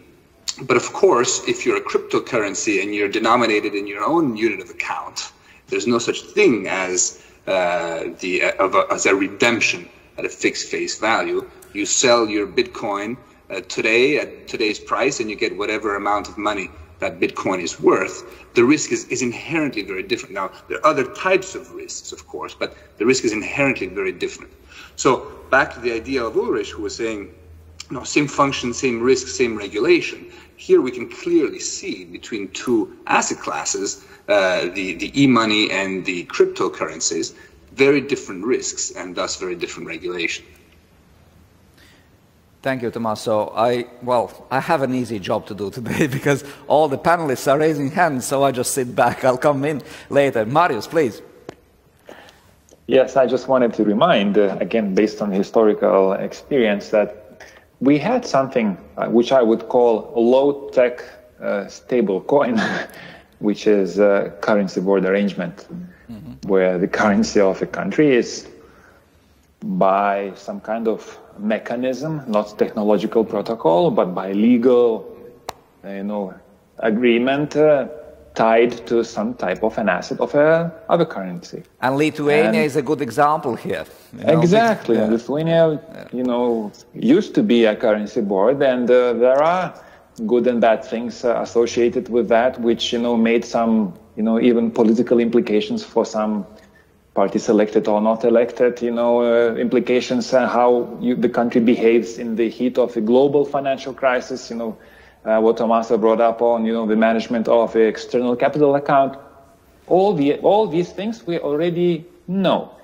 Now jumps into technology, and uh, you know, we I think we are in the good hands of uh, academic world. We can tie these things and say, look, the things are the same. They just move faster what Lisa, Lisa said, you know, maybe it will not take 200 years, and maybe we can we can learn from the historical experiences, you know, how these things uh, will take us forward. Mm-hmm. Before I go to Tommaso, I think you were raising the hand as well. Let me just bring the discussion back a bit and uh, draw one line. Uh, cryptocurrencies, I would better say crypto assets, okay, uh, and stablecoins if we take a look at the, uh, you know, the functions that one typically understands that money performs, one of them is, of course, the store of value. If one takes a look at, at, for instance, Bitcoin, that's a speculative asset because the volatility in the price of it is so high that, uh, you know, that is one of the reasons why the stable coins were introduced, so that the volatility uh, is being reduced so that people know what do they own, you know. Because one thing is, is to jump on the curve when it's going up, and another thing is, you know, uh, to see massive decrease in value. So this is more of an asset type of story rather than money, currency type of story that one would love to see. Am I right? Well, let's talk about um, store of value. Uh, supposing euro comes out and becomes a digital euro, which is, by the way, it already is. But say euro becomes a blockchain-based uh, currency. Would there be any difference? Uh, would there be any similarities with, say, uh, a Bitcoin or Ethereum? Gentlemen, I'd rather say not. It would still be the same monetary system. Certainly, we would probably have an open ledger where would, uh, everyone would be able to see the, the distribution of money, the uh, concentration of money, the flow of money, because it would be open blockchain, hopefully open, of course, I'm speculating. But essentially, it would still be the same euro and it would be inflationary monetary system. Whereas, albeit Bitcoin is volatile, cryptocurrencies are volatile because they're new they're only coming about, and they're coming about without any fixed mm-hmm. uh, exchange ratio because they're being introduced by natural uh, means of introduction. Now, in the long term, however, if we will compare the euro and the Bitcoin, say the same Bitcoin or in Ethereum, Thing is, um, cryptocurrencies will likely uh, be the survivors of unit of uh, account and store of value, and indeed, hopefully, also a means of exchange, the three major functions of money. Because euro is inherently uh, inflationary, and the value of euro, in fact, is going down. Especially now in the COVID era, when uh, so much euros were printed, but and we I don't think see it in inflationary data. Me as a central banker, I would love more inflation. Well, uh, that's why it's you had still very low. You Yeah. had one of the uh, actually questions from the audience on the Cantillon effect. If any of you uh, gentlemen would like to answer that question, like explain what is a Cantillon effect. Could, could we please have the questions on the screen? Which one are you talking about? And then could you please chip It was in? the second question from the Second. beginning. Okay. Can It's- you think of ways CBDC, which is central bank digital currency, will help increase financial resilience and inclusion? No, no, uh, there was a second question from the beginning. These are the Ah, okay. latest ones. Could we please go to... Uh, anyway, if you remember correctly, could you please state it? So the and question ask, was very let's simple. ask it other Very simple. Could any of the participants explain what Cantillon effect is? Cantillon Is, effect. it, is this a test of knowledge, Lisa? Uh, come again, sorry. Okay, please chip in, uh, explain, and then uh, the panelists will try to tackle it. What is Cantillon uh, issue that you raised? Okay, I should Yeah, answer. please. Okay, no, no I don't know. Well, uh, I personally don't know. It goes back to 18th century uh, uh, economist who was expounding uh, the matter. But basically, in simple terms, uh, imagine you're filling in uh, a cup with uh, more or less um, hard substance or, uh, say, honey. You will see the formation on top uh, and it will not be distributed evenly. So the same goes with monetary uh, influx into the system. When the money is being introduced into the system, like for instance right now in, during the COVID era, so who are the benefic- uh, who are the who, who benefits from that first uh, money going in? Those privileged, right? Typically, those would be the banks uh, who would get very cheap loans, who would lend out to perhaps not very um, worthy um, loan takers. Uh, today, in COVID era, we have the privileged uh, part of society, those who basically got the, the, the subsidies, the, the, the bank, uh, perhaps some bailouts. So that's the Cantillon effect in a monetary system where the first comers get to benefit the most, whereas the rest of the society lags behind and pays higher price as a, as a result. We don't see the inflation now, but obviously it's something uh, which is unavoidable. Marius, thank you, Lisa. Marius, you raised the hand, please. Yes, um, a good example, Lisa. But um, you know, we always have to think of a kind of a physical ecosystem which we have in place uh, for that experiment, uh, and uh, maybe you know we can have a- another example or another experiment or a- another monetary system. For example, the one that we have right now uh, in the world, and um, you know we have the Friedman rule uh, you know, which says that optimal interest rate uh, is negative. Uh, but uh, you know, reality is much more complicated than you know, nice and lean monetary model that Professor Friedman was solving. So all we have to have is you know, additions, the complications, uh, and that uh, the society is changing, and uh, you know, I, as a central banker, I have no problem to implement a negative inflationary target uh, if that is deemed to be the the, mo- the optimal one. But that is not so far. You know, we have you know, we know that uh, once I tell you that the car is cheaper tomorrow, you would not buy it today.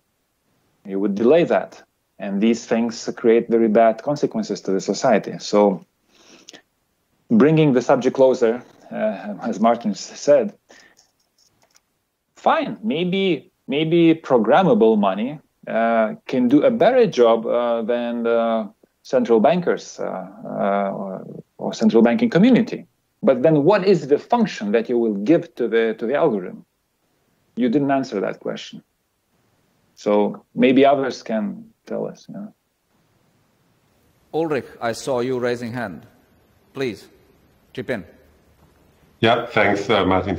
No, Lisa has really provoked us as central bankers, of course, because she has been saying that um, central bank monies will at the end be inflationary and the, um, let's say, private crypto assets will take over the unit uh, of account eventually and monetary functions. And of course, um, that's uh, difficult to believe for a central banker. I mean, the the the whole you know trend um, of uh, money has been towards um, away, let's say, from commodity-based money. Know, we had uh, gold currencies which were fluctuating independently, and the conclusion was that the fluctuation of supply conditions in gold were, um, you know, creating business cycles that don't make sense, and the trend, the eventual move to a paper currency was removing this problem and was creating the elasticity that allows to really focus on price stability. Why it's very difficult to see why a new commodity and an additional, in addition, a virtual one, without let's say an, an anchor, any anchor um, in terms of value, can uh, return this development and lead us to the conclusion that we should expose again the price level to all sorts of um, of uh, factors which have nothing to do with um, you know the objective of steering monetary conditions to uh, smoothen out uh, business fluctuations. I think it's a it's a debate maybe we should uh, leave where where it is because it's uh, it's uh, it's one that let's say has taken a while to be conducted and maybe we will not solve. We can kind of focus or agree on is that um, technologies, of course, are you know, leading to widespread changes in the behavior of, uh, of the citizens, of businesses, of uh, the way economy operates, and to reduce those volatilities that in many cases are inherent. You know, the central bank and of course here I also talk as a central banker, okay, has a public good issue in terms of stabilizing those fluctuations. And if we are not within that uh, space, then we have no ability to smooth out and service the society where necessary. The last thing perhaps on, on this issue, and then we're moving on to other issues. Marius, you raised, uh, was it just showing that uh, yeah, yeah, you was, have to say was, something? Yep. Um, again, um, does the society uh, expect us or some other institution to smooth out everything? You know, there are limits, right? Uh, you know, on, for example, you know, uh, uniform income or you know smoothing out the volatility in the stock market. You know is that the, the thing that we really would like to implement? Mm-hmm. but yes you know we always are looking for this kind of unit of account which uh, you know is not fluctuating. You know it's kind of it's the measure it's the etalon of something. But maybe it doesn't exist in the in the universe. Maybe we have to create it. Uh, how these things are being created with uh, some use of technology, you know, and uh, again, things have been very volatile in some asset classes. Uh, then here come the smart guys, they, they develop uh, derivatives, uh, uh, some, you know, trading platforms which ensure that market forces, uh, you know, translate all the microstructure of information available to the world into the prices. And those prices if they change, they really reflect the underlying uh, asset value.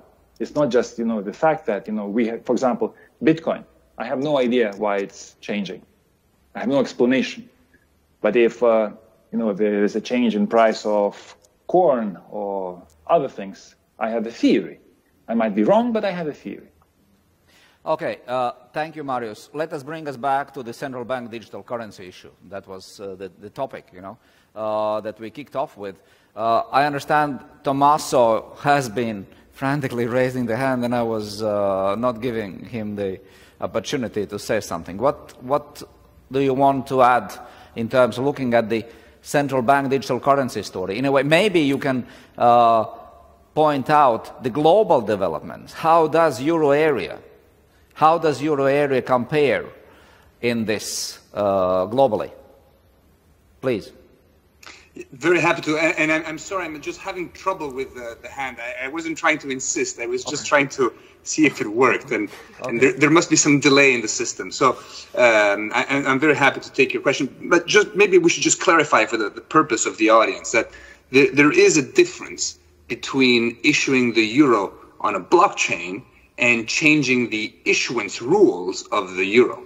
These are two different things. One is technology. How are we going to distribute the euro? It can be on a blockchain, but it'll be stable to the extent that it's still redeemable into euro cash. The second question is how do we issue it? Do we let a robot decide how much we issue, or do we have uh, the, the wisdom of uh, you sitting around the table with your peers, uh, governors of the Eurosystem, making decisions? That's another issue. So we need to distinguish the two. And, and um, so, um, and I think it's also interesting in this debate, just to raise it um, internationally. I'll say two things. One is is that you know there is this interesting debate on optimal currency areas. So uh, the, the, there's there's a border around your country, and you happen to control monetary policy within that border and not outside. Is that the right border? for monetary policy? Is that the area where the shocks are most correlated, where you have the most uh, uh, uh mobility of capital and labor, etc.? There's there's an old literature in optimal currency area, and then that literature has been renewed to some extent with the question of saying, well, you know, we, we no longer live within a country; we live within a virtual space, and you know, my virtual space is happens to be my bedroom, and the question is, is, is whether these virtual spaces, which comprise the platforms on which we spend, uh, the platforms on which we meet our friends, etc., whether these virtual spaces could comprise an optimal currency area. And if so, what currency should we use? Who should be the issuer? What rules should determine the issuance? So I, am just trying to encapsulate the debate we were just having into a, an ongoing academic discussion. I'm, I'm dubious of this, especially if it were to be private issuers that set the rules of issuance. I think that the incentives are not just not aligned with public policy incentives. But anyways, that's just my take. And then, of course, you know, it's interesting to see globally the evolution of the discussion on CBDC. Uh, what's very interesting to us is to see that there are a lot of countries that are lower income, emerging markets that are really at the forefront of a lot of developments. Uh, the Bahamas is, is piloting the Sand Dollar project. Uh, we have the ECCU. Uh, we have uh, Mauritius now getting interested. We have China of course, which is probably one of the most advanced in piloting CBDC. So a lot of the knowledge is no longer uh, where you might have expected it to be uh, given past track records. A lot of the knowledge is moving into smaller countries, etc. And, and this is, I think, where we see the value of the IMF is to bring together this very diverse uh, group of countries that are piloting and experimenting CBDC, bringing them together and allowing them to discuss lessons, best practices, questions together. Um, because you know, we don't have these types of groups set up uh, so far. So I think this is a role that we can play. Thanks very much.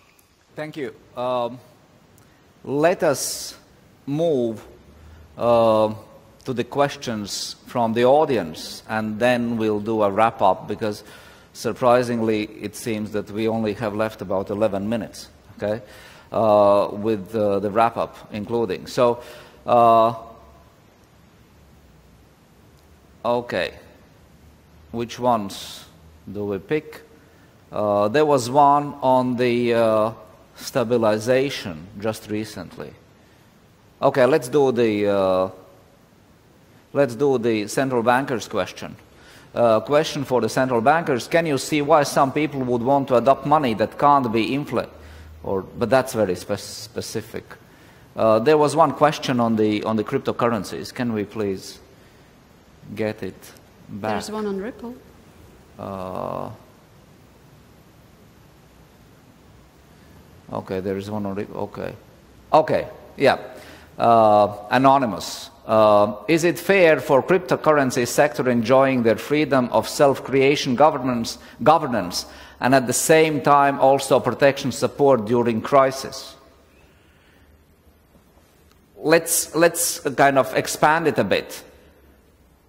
How would we see a crisis uh, situations being managed if the government would step out of a central bank digital currency story? Anyone? Definitely IMF type of question. okay. IMF, please. Tommaso, you're representing I'll. I'll remember that. I'll remember that. You put me on the spot. No, I mean, I think the answer is pretty simple. I think that, you know, currently we, we don't have central bank digital currencies, and yet we're managing crises relatively well.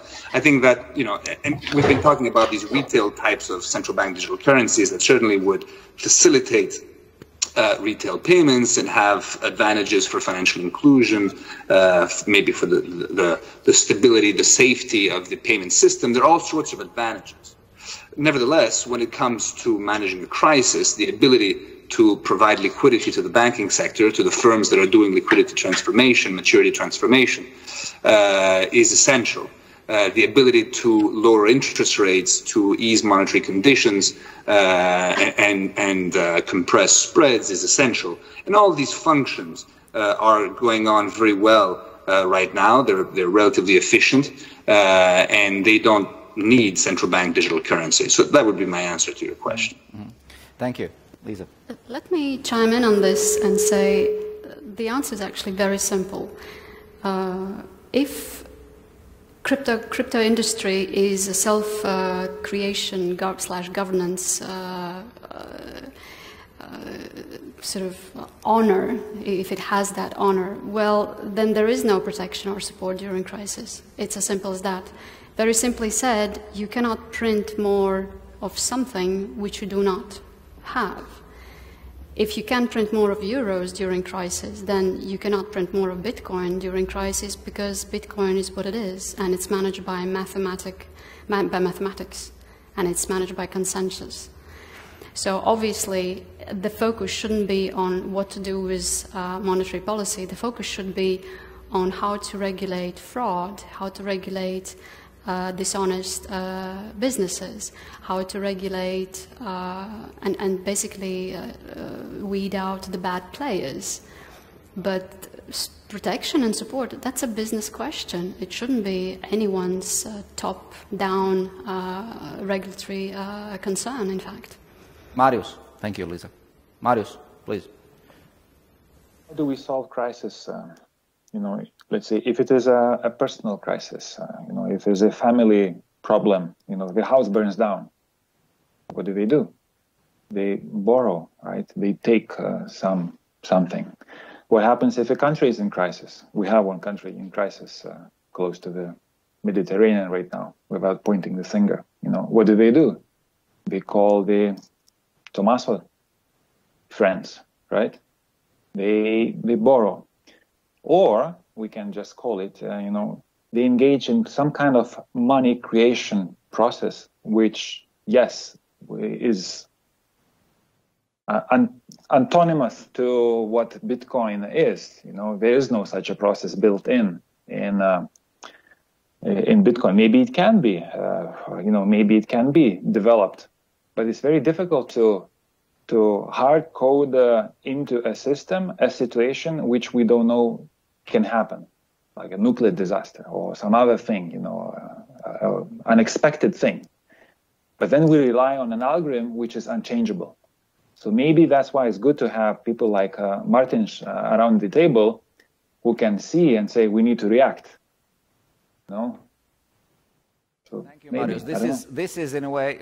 Well, I can't I only can provocate the answers because I'm a moderator, so I can't give the answers. But, you know, I think that important thing in terms of stabilization is critical.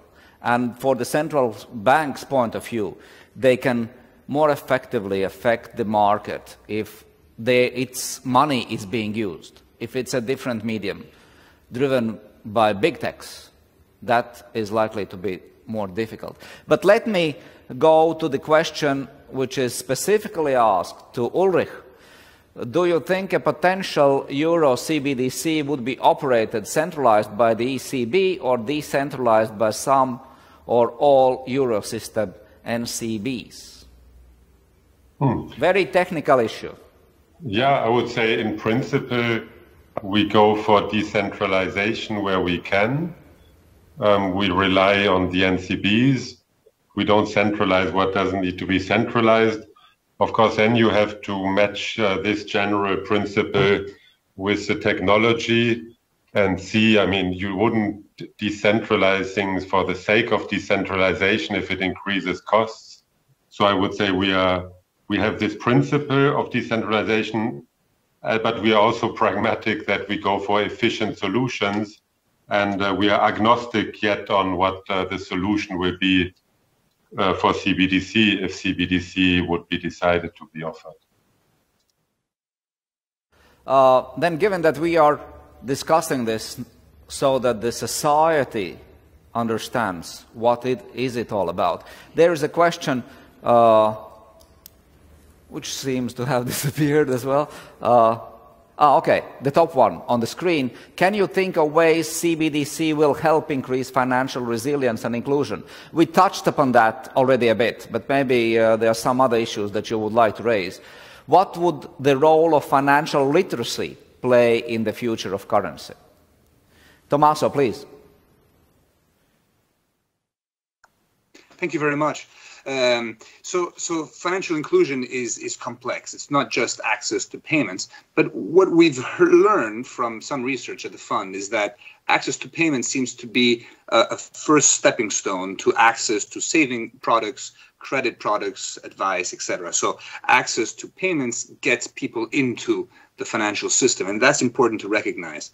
Uh, it's also important to recognize that on the one hand, CBDC can help financial inclusion by reaching populations uh, in remote areas that don't necessarily have bank accounts uh, and can help them uh, bring them into the financial sector. But also, on the other hand, CBDC can isolate certain people who are not technology savvy, uh, who might not have access to the infrastructure. So that is important to take into account. The third and last thing I'll say is that, again, from our research, uh, the, the main impediment to financial inclusion globally uh, is really uh, identity. And it, it, the impediment is at the stage of customer onboarding. There's a reason why there are nearly 2 billion people who don't have bank accounts. Well, there are many reasons. One of them is that a lot of people don't have the right documents simply to prove who they are and to be onboarded. And that will be a problem for banking for bank accounts and just as much as it will be for CBDC and digital wallets.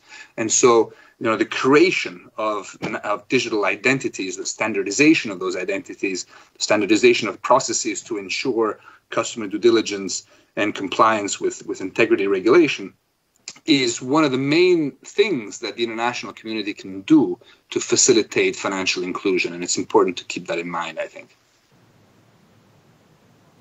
Unfortunately, uh, we have run out of time. And uh, only the last round, okay? Very briefly, okay? Two issues.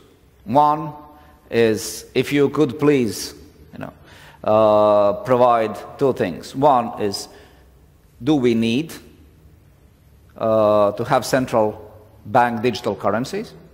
The first one, do we need central bank digital currencies? And when are we going to see the first one operational? not an experimental story, but fully operational. Let me start with Lisa, please. Thank you, Mārtiņš.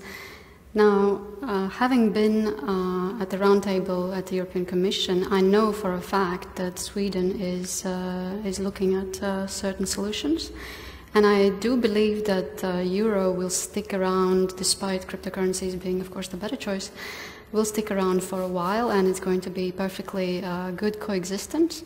Therefore, uh, yes, there will be one, and most likely in Sweden. And whether we need one, I'd say yes, since euro will stick around, because it will perform one very important task. It will reach out to people who are currently unbanked, including including children, because children are perfectly uh, good economic actors as well, from a certain age, but not from 18 years old. Thank you. Marius. Do we need a central bank digital currency? Yes. Uh, all the answers uh, that we discussed about. When will it happen? Uh, once we get the answers to the questions that we discussed about. And for that, uh, central banks have a system in place. And uh, I guess we will discuss about uh, it from a policy perspective, uh, as well as from a technological sustainability perspective. And we will implement experiments. And once we have the answers from them, then we'll administer the vaccine. We cannot do a vaccine without doing the tests first. Is it years? Is it, well, one year, two years, three years, ten years?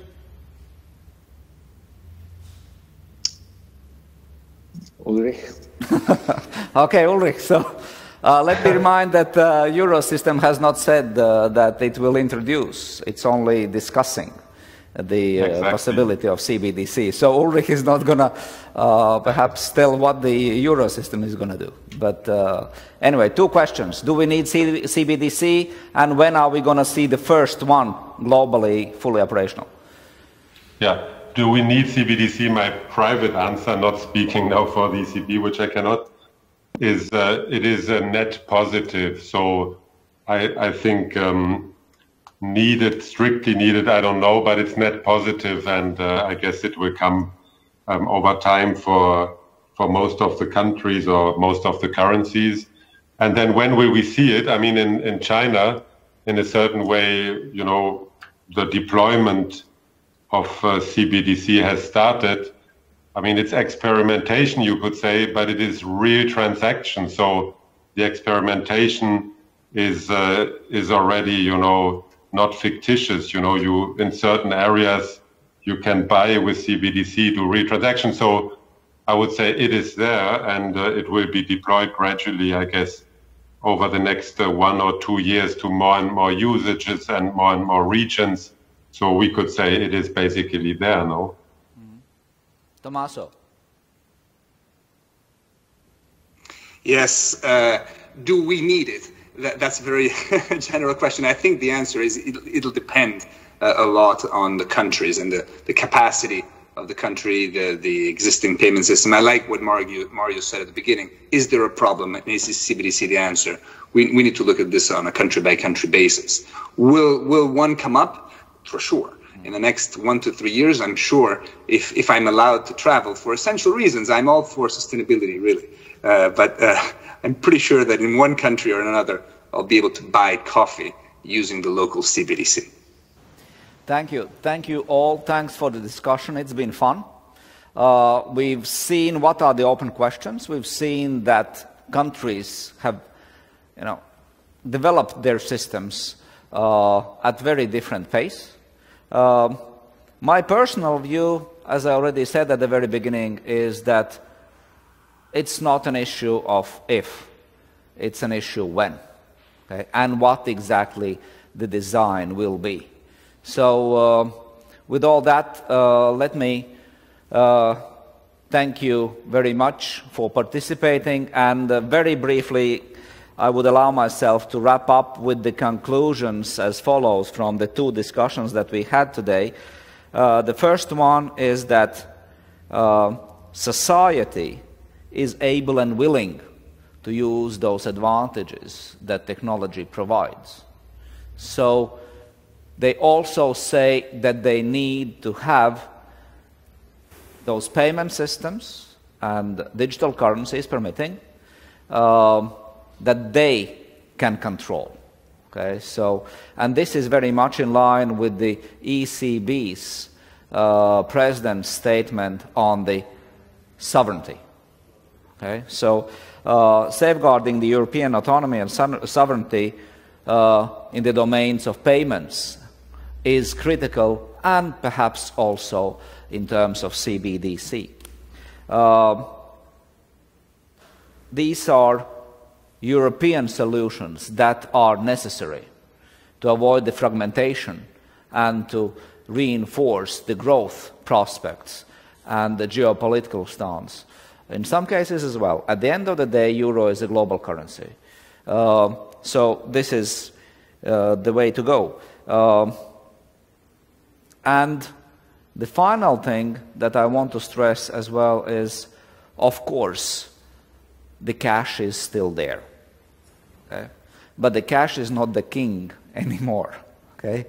Uh, sometime soon we will have a digital uh, equivalent, most likely, to the cash. But for the time being, ECB and Latvian central bank, for that matter as well, we will do our best to provide cash services. You know, that is critically necessary for the society. Uh, at some point, most likely, both cash and digital money will go side by side, and then who knows about the future. Uh, as Ulrich said, it's not a natural solution that central bank liability is in form of, of banknotes. Okay, so the world is wide open. Technology permits other types of solutions. Thank you very much, and uh, let us meet up for the next conference, for yet another conference in a year's time. Thank you. Thank you.